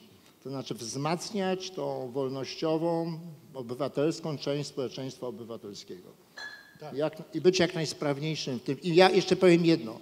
W Polsce jest dużo ludzi i organizacji tego typu, tylko oni o sobie nie wiedzą nawzajem. i można i trzeba się policzyć. FOR będziemy starali się tu pomóc i zrobić rozmaite sojusze. I działać także przez media oczywiście. I akurat tutaj mam różne doświadczenia, ale dużo dobrych doświadczeń jest. Także i to się wtedy da, da nie, to da, znaczy bez tego na pewno się nie da zrobić, będą narzekania. Jak będziemy to wzmacniać, to może się da. Ja chciałbym w tym duchu coś powiedzieć. Mianowicie nie tak dawno przeczytałem taką definicję pewnego angielskiego e, politologa, co to jest polityka w ogóle. I on mówi tak, polityka to jest umiejętność pozyskiwania głosów ludzi biednych oraz uzyskiwania pieniędzy od ludzi bogatych w zamian za obietnicę obrony jednych przed drugimi.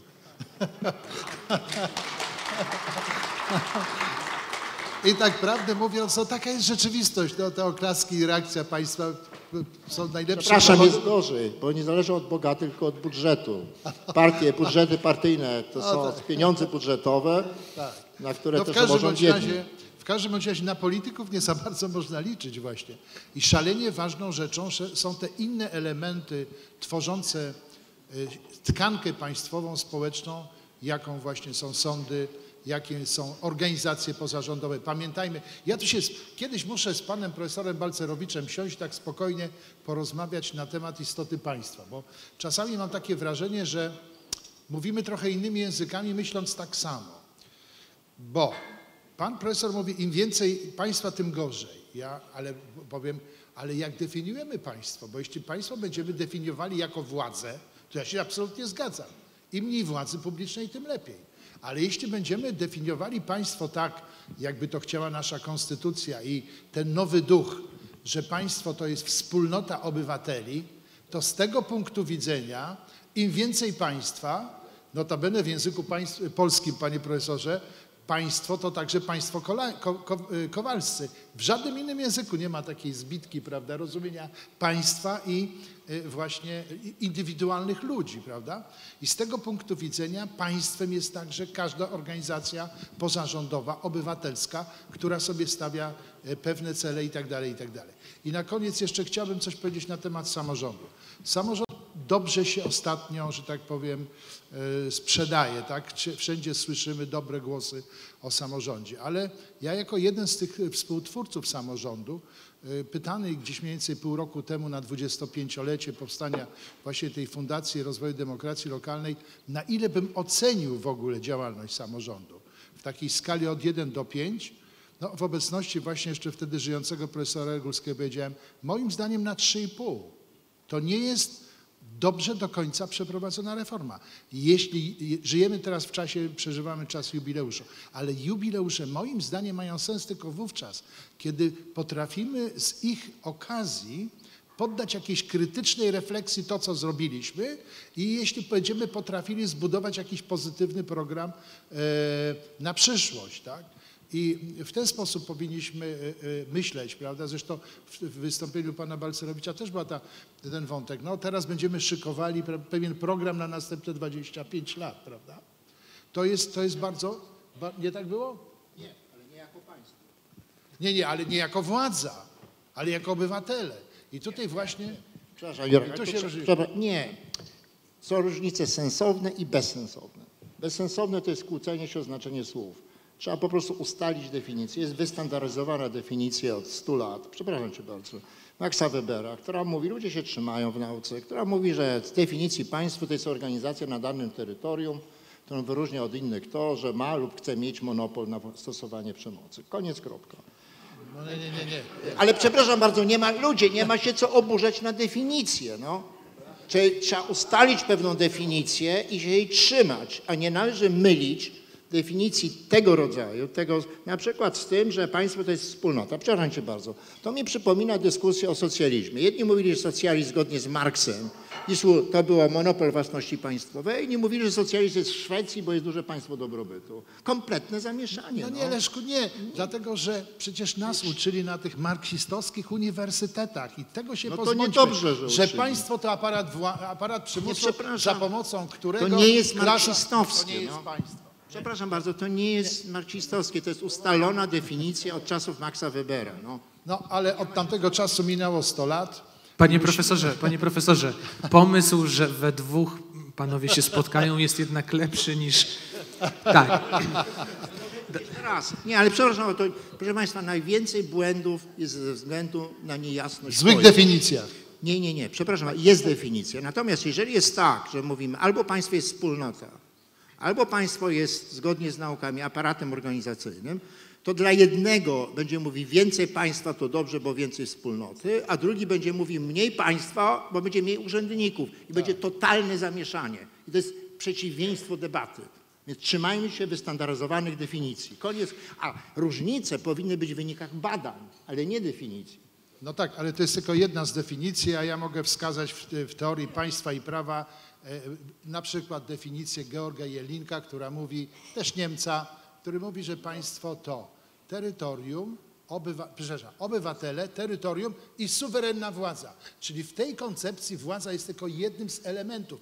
Jeśli się bierze część za całość, popełnia się błąd logiczny pro, pars pro toto. Nie wolno nigdy brać części za całość. Nie można jednego elementu przenosić na całość i no i tutaj nie, musimy Panie profesorze, różne zdania. dobrze, ponieważ weszliśmy w spór językowy, to ja kontynuując jakby tę, tę myśl, mam p- p- pytanie do pana profesora Miotka. Panie profesorze, bo pan obserwuje i to, mam nadzieję, będzie początek naszej puenty, bo niestety czas nam się kończy. E, Jak pan obserwuje język e, polityków, to czy Oczywiście przejaskrawiam, ale może na dobry początek trzeba by było stworzyć listę wyrazów, których oni powinni używać i taką, których używać nie powinni. Czyli na początek edukacja, gospodarka, ekonomia, służba zdrowia, a nie katastrofa, wypadek, Smoleńsk i No, myśmy i tak tutaj o dalej. tym mówili, prawda, że y, chcę wierzyć, że na świecie jest więcej dobra niż zła, chcę wierzyć, że na świecie jest ludzi dobrych więcej niż ludzi złych, tylko zło jest zawsze krzykliwsze. Tak chyba było w dziejach świata. Nie Prawda? wiem, a przedsiębiorca jak ma, to znaczy, że nakradł. No więc o to chodzi. I myśmy tu dzisiaj w tych pierwszych naszych wystąpieniach też mówili o tym, o tej, o tej napędzającej się nieustannie y, medialnej y, sile, tendencji do, do przedstawiania nieszczęść, afer i tak dalej, i tak dalej. Że afera będzie nagłośniona, prawda? Natomiast sukces takiego czy innego przedsiębiorstwa, o tym, o tym wszyscy milczą. To oczywiście, że tak. Panowie, panowie, y, wyprzedzę panie ministrze tylko, żeby wejść jeszcze przed pana wypowiedź. Każdy z panów może teraz spuentować to, o czym rozmawialiśmy, nie dłużej niż trzy minuty i może nawet dwie. Tak, tak, dostałem pozwolenie od pana prezesa.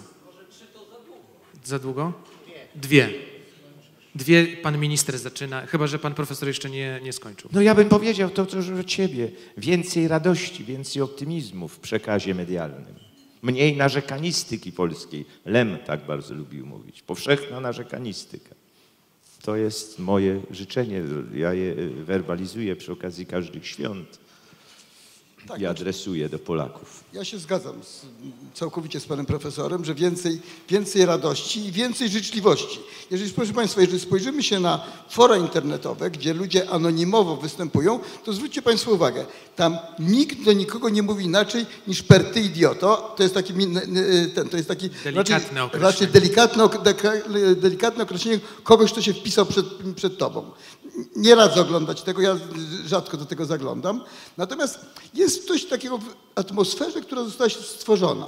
I ona została, ona została stworzona, znaczy zarówno y, ten jej początki widać w wojnie na górze, y, potem w różnego typu walkach politycznych i, i także w mass mediach. Otóż y, ja nie winiłbym ani specjalnie, ani specjalnie polityków, ani dziennikarzy, ale kiedyś brałem udział w jakiejś debacie, gdzie dziennikarka prowadząca zapytała się jednego z, y, dyskuta, jednego z dyskutantów, polityków, na temat bezpieczeństwa energetycznego Polski. On zaczął mówić i mniej więcej mówił 45 sekund, dosyć fachowo, bo się na tym znał.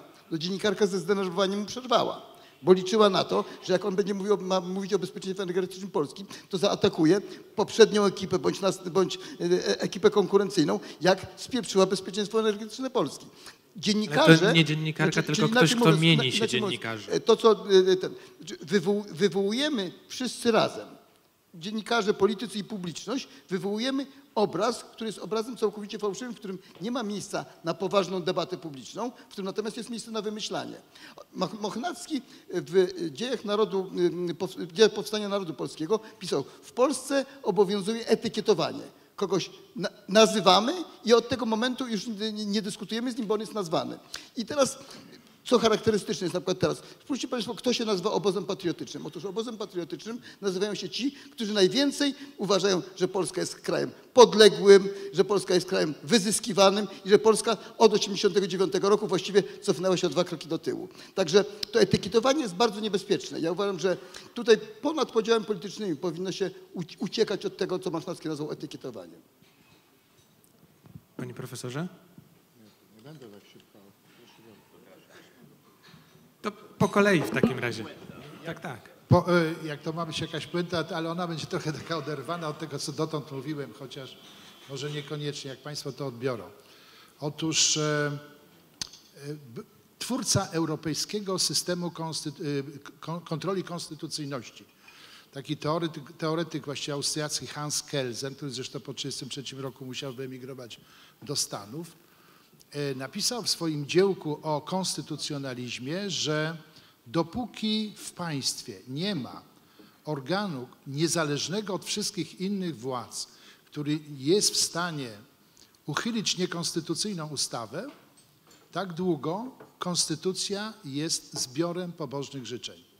Jeśli coś jest zbiorem pobożnych życzeń, to na pewno nie jest aktem normatywnym. Czyli jednym słowem, jeśli chcemy mieć konstytucję działającą z prawdziwego zdarzenia, musimy bardzo pilnować, kto znajdzie się w Trybunale Konstytucyjnym. Jakiego e, gatunku, że tak powiem, znajdą się tam ludzie. Bo oczywiście istnieją tylko ludzie, przedmioty, zwierzęta, rośliny, prawda? Reszta to są nasze konstrukcje myślowe. I sam Trybunał Konstytucyjny działa w Rosji, na Białorusi, ale w, ogóle nie traktuje się ich poważnie. Polski Trybunał Konstytucyjny jak dotąd ma niezłą markę, ale oczywiście musimy bardzo dbać o to, żeby najbliższa edycja właśnie uzupełniająca skład sądów Trybunału, Konstytucy- Trybunału Konstytucyjnego była na najwyższym poziomie, a będzie się jesienią zbier- zmieniała już pię- piątka sędziów.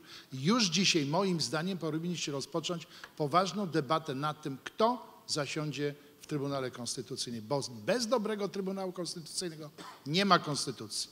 Dziękuję, panie doktorze. Ja myślę, że część problemów, które w tej chwili są, wynikają między innymi z tego, że jest pewien taki kryzys zaufania, o którym ty już powiedział, że ten kapitał zaufania jest stosunkowo niski. On akurat wśród przedsiębiorców jest wyższy niż przeciętny, oby się reszta społeczeństwa tym zaraziła. Bo w tej chwili ja na przykład jak obserwuję niektóre działania, no na pewno część problemów, część problemów, którą, takich natury biurokratycznej wynika stąd, że już się procedurami i przepisami zastąpić elementarne zaufanie.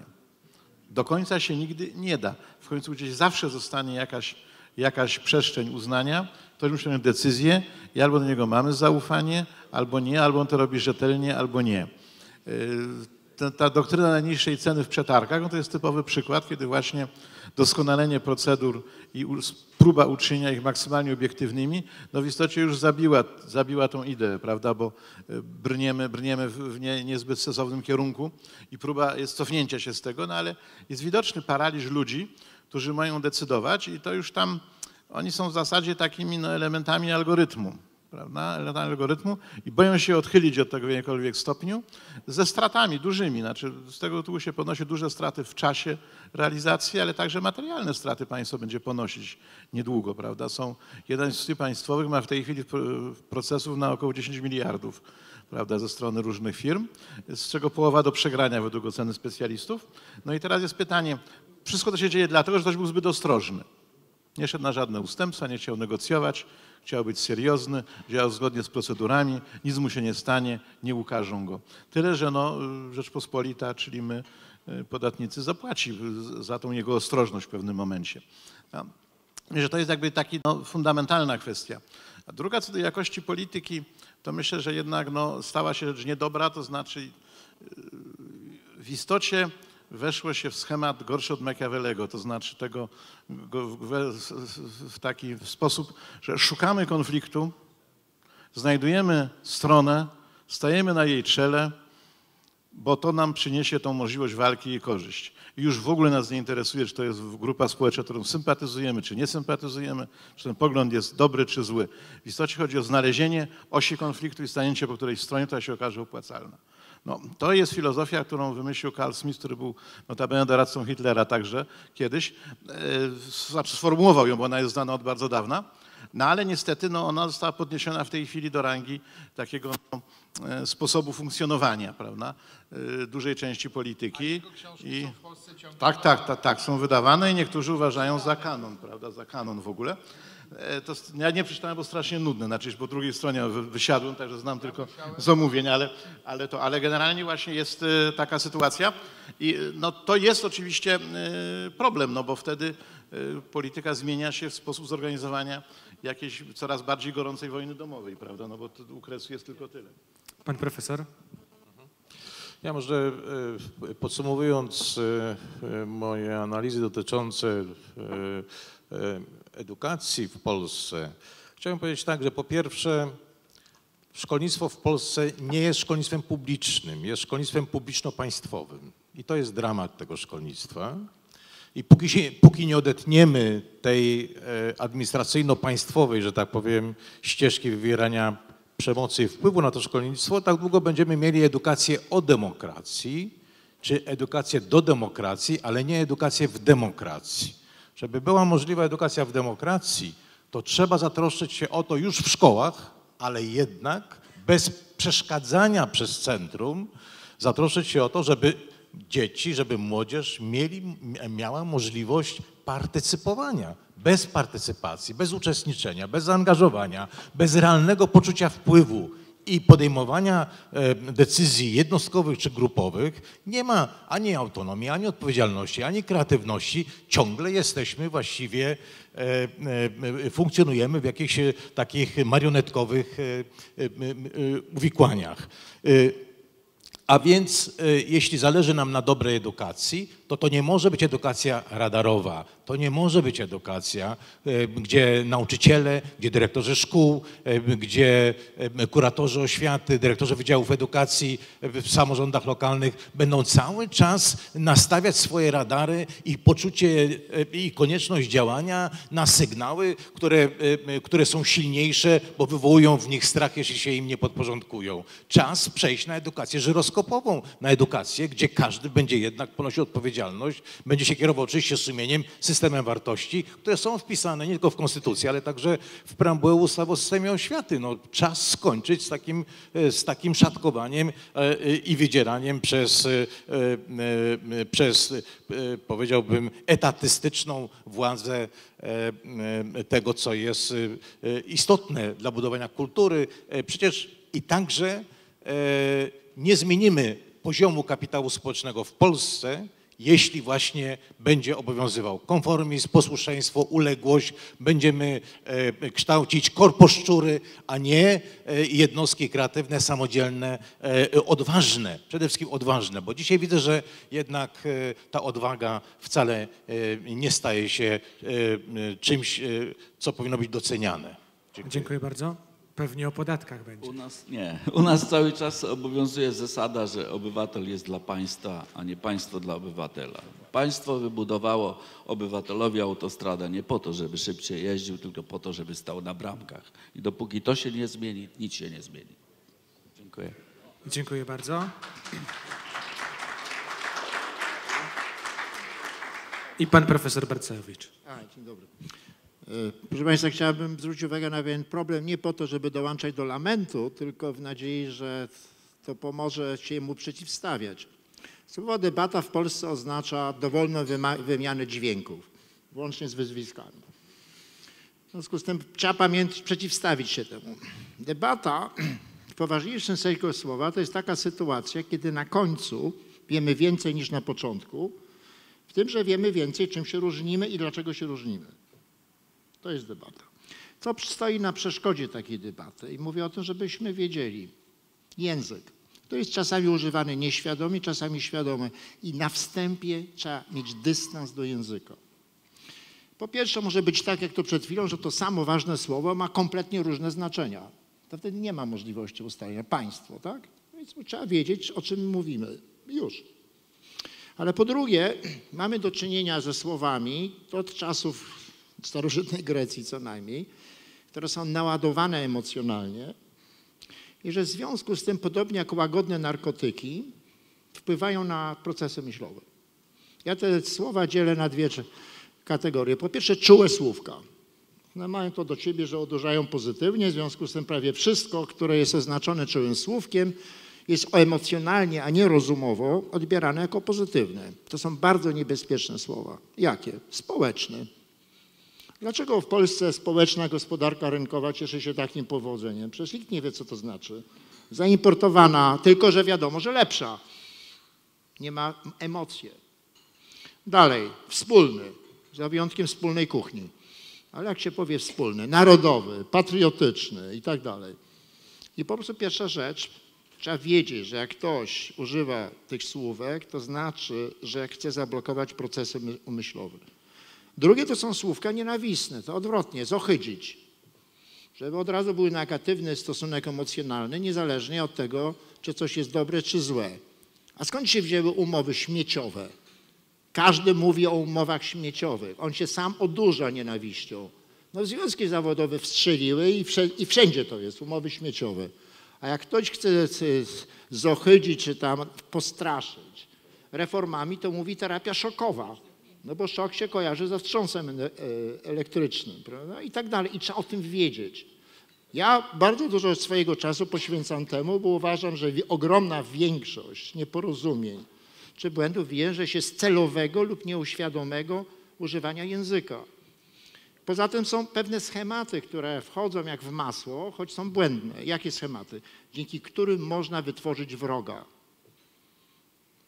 To pochodzi od Marksa. Ludzie mówią Marksem, nie wiedzą, że mówią Marksem. A jaki jest schemat marksowski? Że w społeczeństwie kapitalistycznym mamy dwie klasy czy grupy. Jedna to jest dobra, nazywa się proletariat. Teraz to są pracownicy a druga to jest zła i się nazywa burżuazja, teraz to są pracodawcy. No, ponieważ jedni są dobrzy, co drudzy są źli, to każdy przyzwoity, choć niekoniecznie rozumny intelektualista będzie popierał proletariat, czyli związki zawodowe w ich niszczycielskiej zadziałalności, a będzie przeciwko burżuazji, czy tam... I niesamowicie ważne, to już na koniec, żeby wiedzieć jak najwięcej i nie dać się zmanipulować. I wtedy dopiero zaczyna się debata. Dziękuję. Dziękuję bardzo. Taka refleksja, panie profesorze, przyszła mi do głowy, a może by to, co pan mówi, wykorzystać jako fortel i ogłosić narodowy system odnowy podatków. Przecież nie wyrzekniemy się słów naładowanych emocjonalnie, ale dla dobrych spraw. Dziękuję. Dziękuję panowie, dziękuję państwu.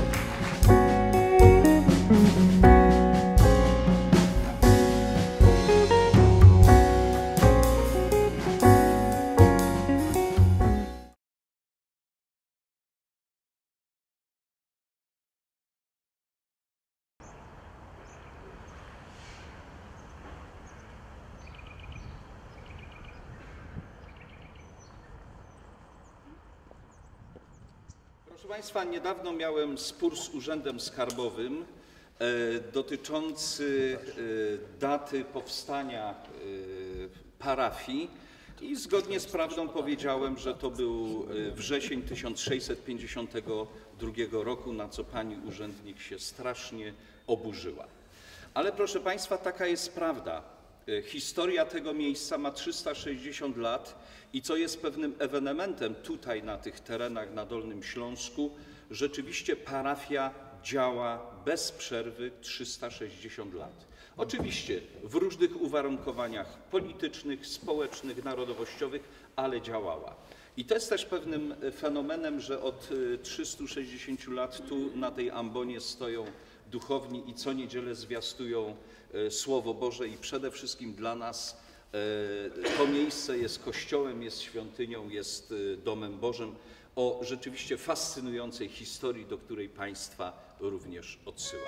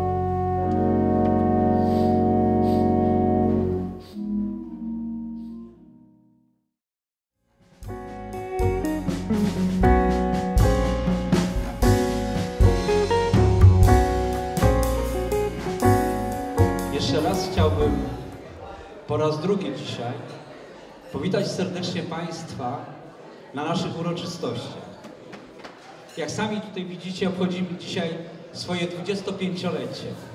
Cieszę się bardzo, że przybyliście na nasz bal, na nasze uroczystości, na naszą galę. W programie dzisiaj chcemy nadać tytuły honorowe kolejnym członkom. W gruncie rzeczy myśmy już ogłosili, oni wiedzą, że są członkami honorowymi, ale dzisiaj chcemy, żeby byli oficjalnie namaszczeni. Dzisiaj również jest finał naszego tradycyjnego od 11 lat konkursu, plebiscytu, ale ważne dla nas wydarzenie, nadanie statuetek z Pixu. Nadajemy te statuetki od trzech lat w trzech kategoriach. Przedsiębiorca, menadżer, przedsiębiorca, menadżer społeczny.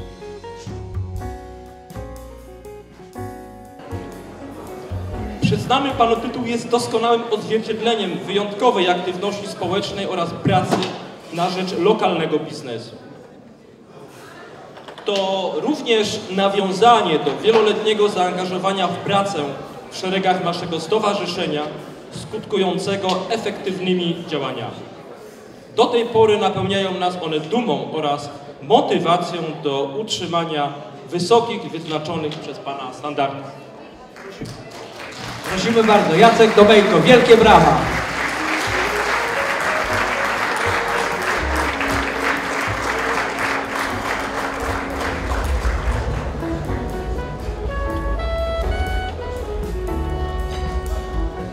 Ponieważ tylko dwa zdania, nie więcej, także jestem niezmiernie wzruszony, zaszczycony. Nie tylko tym, że mogę być z Wami przede wszystkim, ale że mogę być również teraz jako członek honorowy tym ambasadorem i wspierać Stowarzyszenie i Przedsiębiorców. E, Tym samym również dziękuję i życzę na kolejne 25 lat, czyli kolejny jubileusz 50-lecia, przede wszystkim mądrości, odwagi, ale też i długofalowej strategii w zakresie działania takiego stowarzyszenia. Szanowny Panie, drogi kolego Zygmuncie Wolski. W imieniu członków Stowarzyszenia Przedsiębiorców i Kupców Świdnickich chciałbym podziękować za nieocenione wsparcie oraz wkład w rozwój lokalnego biznesu.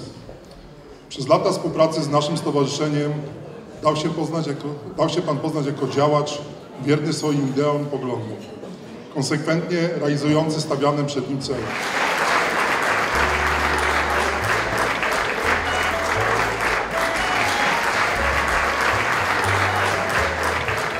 Państwu. Czuję się ogromnie zaszczycony, że mogę być członkiem honorowym Państwa Stowarzyszenia. Myślę, że te lata spędzone w samorządzie, które nadal trwają, przyniosły wiele przyjaźni, przede wszystkim osobistych, za które dzisiaj pragnę podziękować szczególnie Edwardowi.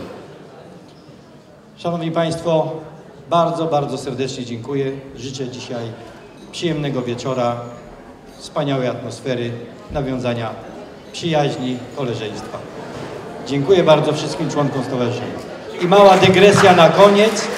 Ja życzę nie 25 lat kolejnych, ale to stowarzyszenie przetrwa co najmniej 50 z tego powodu, że ja stałem się najmłodszym członkiem honorowym, a mam zamiar żyć co najmniej jeszcze 50 lat.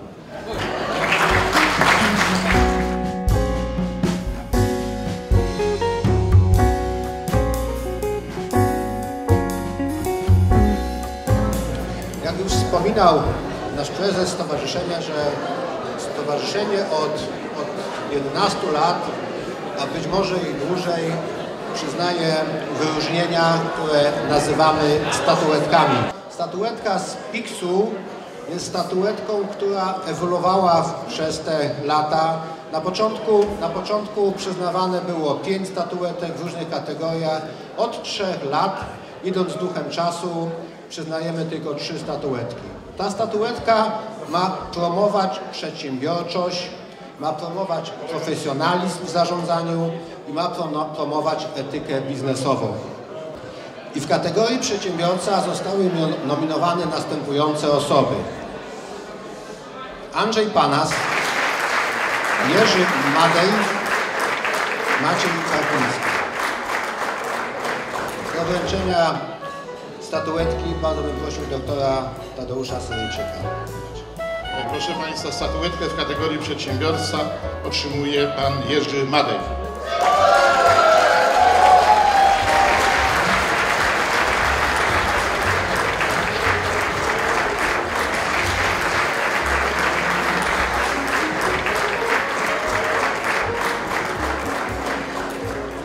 Proszę Państwa, w kategorii menadżer mamy też trzy nominacje do statuetki.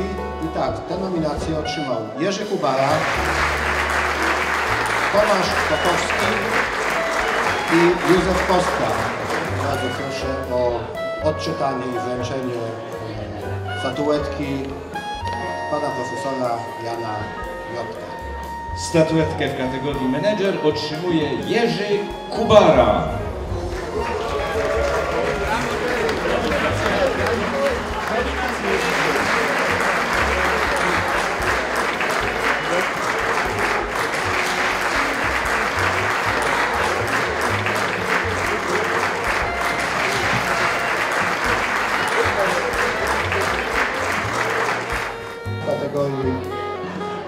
Przedsiębiorstwa, menadżer, społecznik nominowani zostali Wiesław Roszkowicz,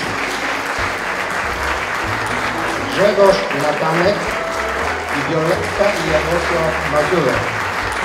Bardzo proszę o odczytanie laureata i wręczenie statuetki ministra Jana Lipińskiego. Statuetkę w kategorii przedsiębiorca, menadżer społecznik otrzymuje Wiesław Roszkowicz.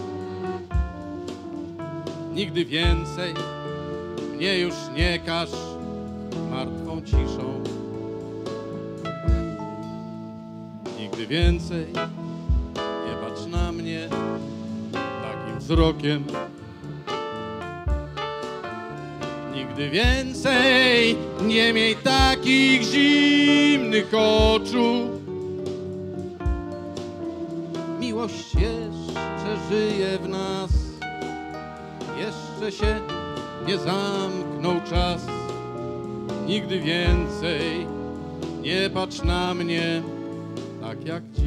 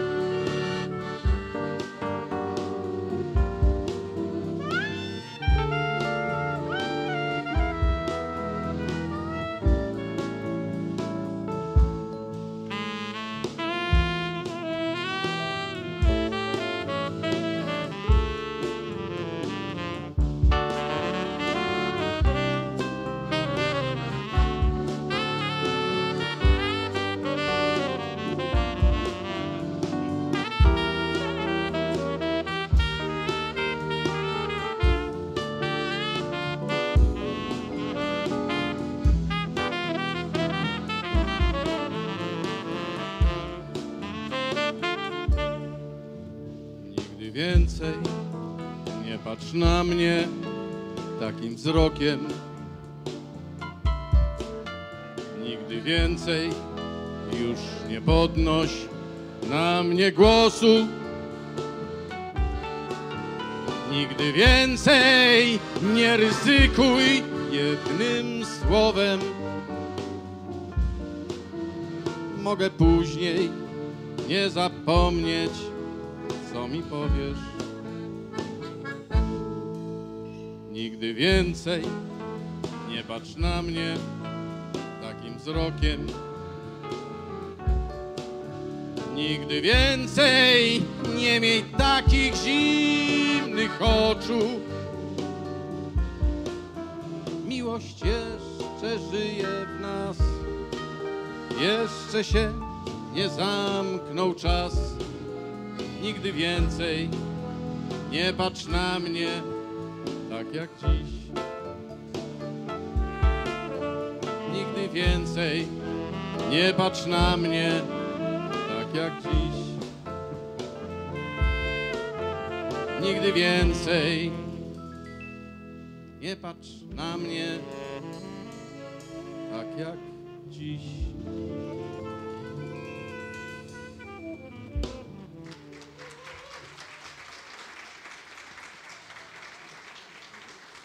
Dziękuję Państwu.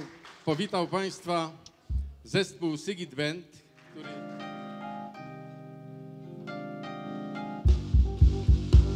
Uparcie i skrycie. Och życie, kocham cię, kocham cię, kocham cię nad życie. W każdą pogodę Potrafią dostrzec oczy moje młode Niebezpieczną twą urodę Kocham cię życie. Poznawać pragnę cię, pragnę cię, pragnę cię w zachwycie. Choć barwy ściemniasz Wierzę w światełko, które rozjaśnia mrok. Wierzę w niezmienność Nadziei, nadziei w światełko namierzej Co drogę wskaże we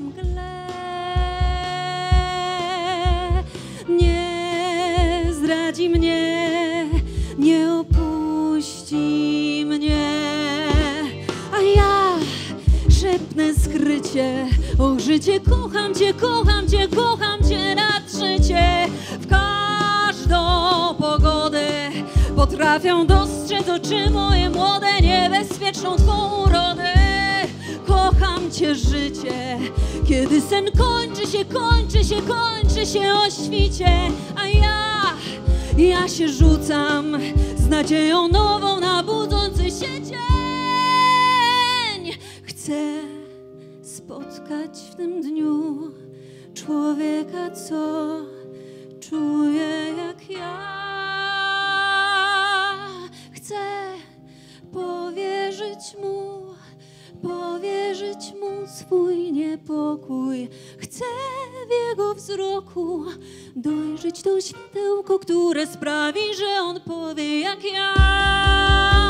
Jak ja oparcie i skrycie.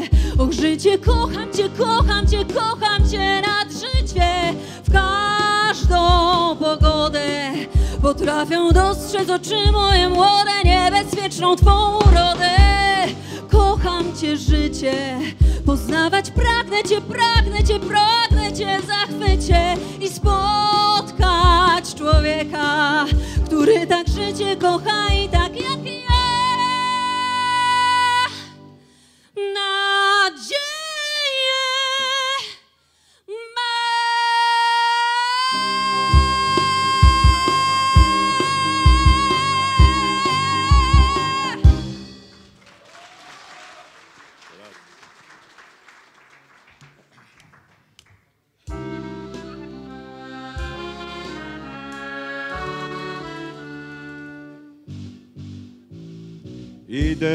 sobie przez podwórze i pyk, pyk, fajeczkę kurzę.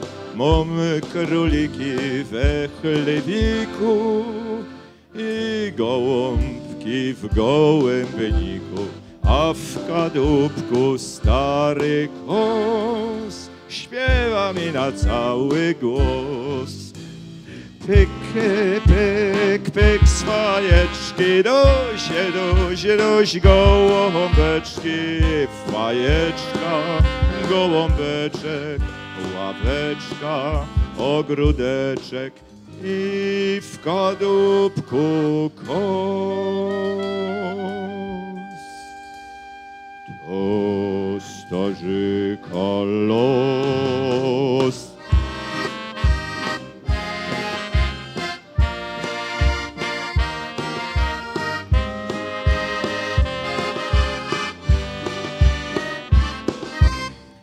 Byłem bajtlem i ciskaczem, potem przez rok ładowaczem. Fedrowałem przez lat wiele, w świątek, piątek i w niedzielę, aż po wielu ciężkich dniach znałem swój górniczy fach.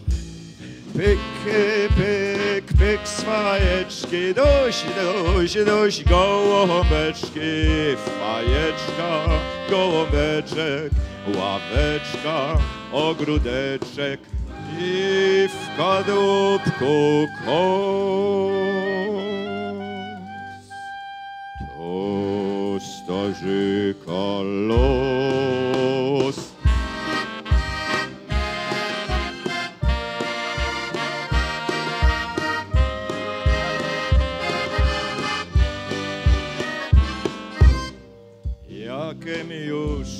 Rębaczem został, tom od ojca fajkę dostał, od sztygara zaś w nagrodę otrzymałem dobry przodek.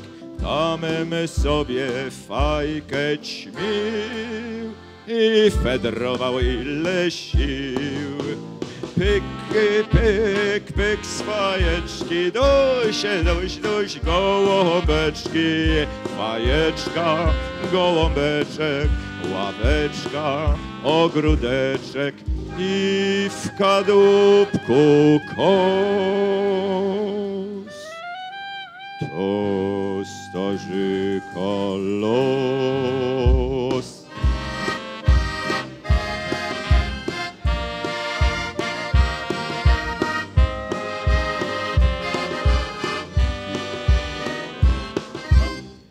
Zbierałem węgla zwały, żeby ludziom ciepło dały. Teraz, gdy mi włosy bieleje, sam przy piecu kości grzeje. Jeszcze wczoraj taki chwal, dziś już pono stary dziad. Pyk, pyk, pyk z fajeczki, dość, dość, dość gołąbeczki. Fajeczka, gołąbeczek, ławeczka, ogródeczek, miłych wnucząt głos. To starzyka los.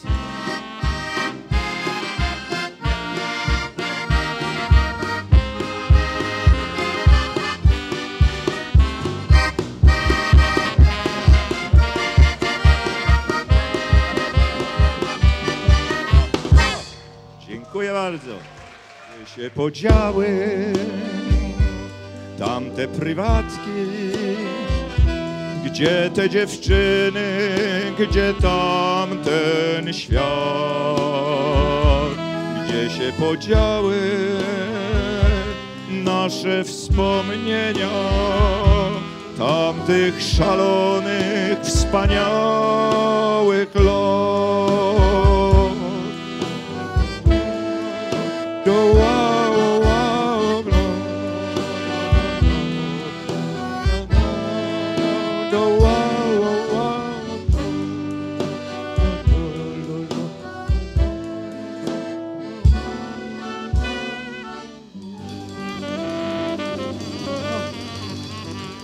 Dziękujemy bardzo.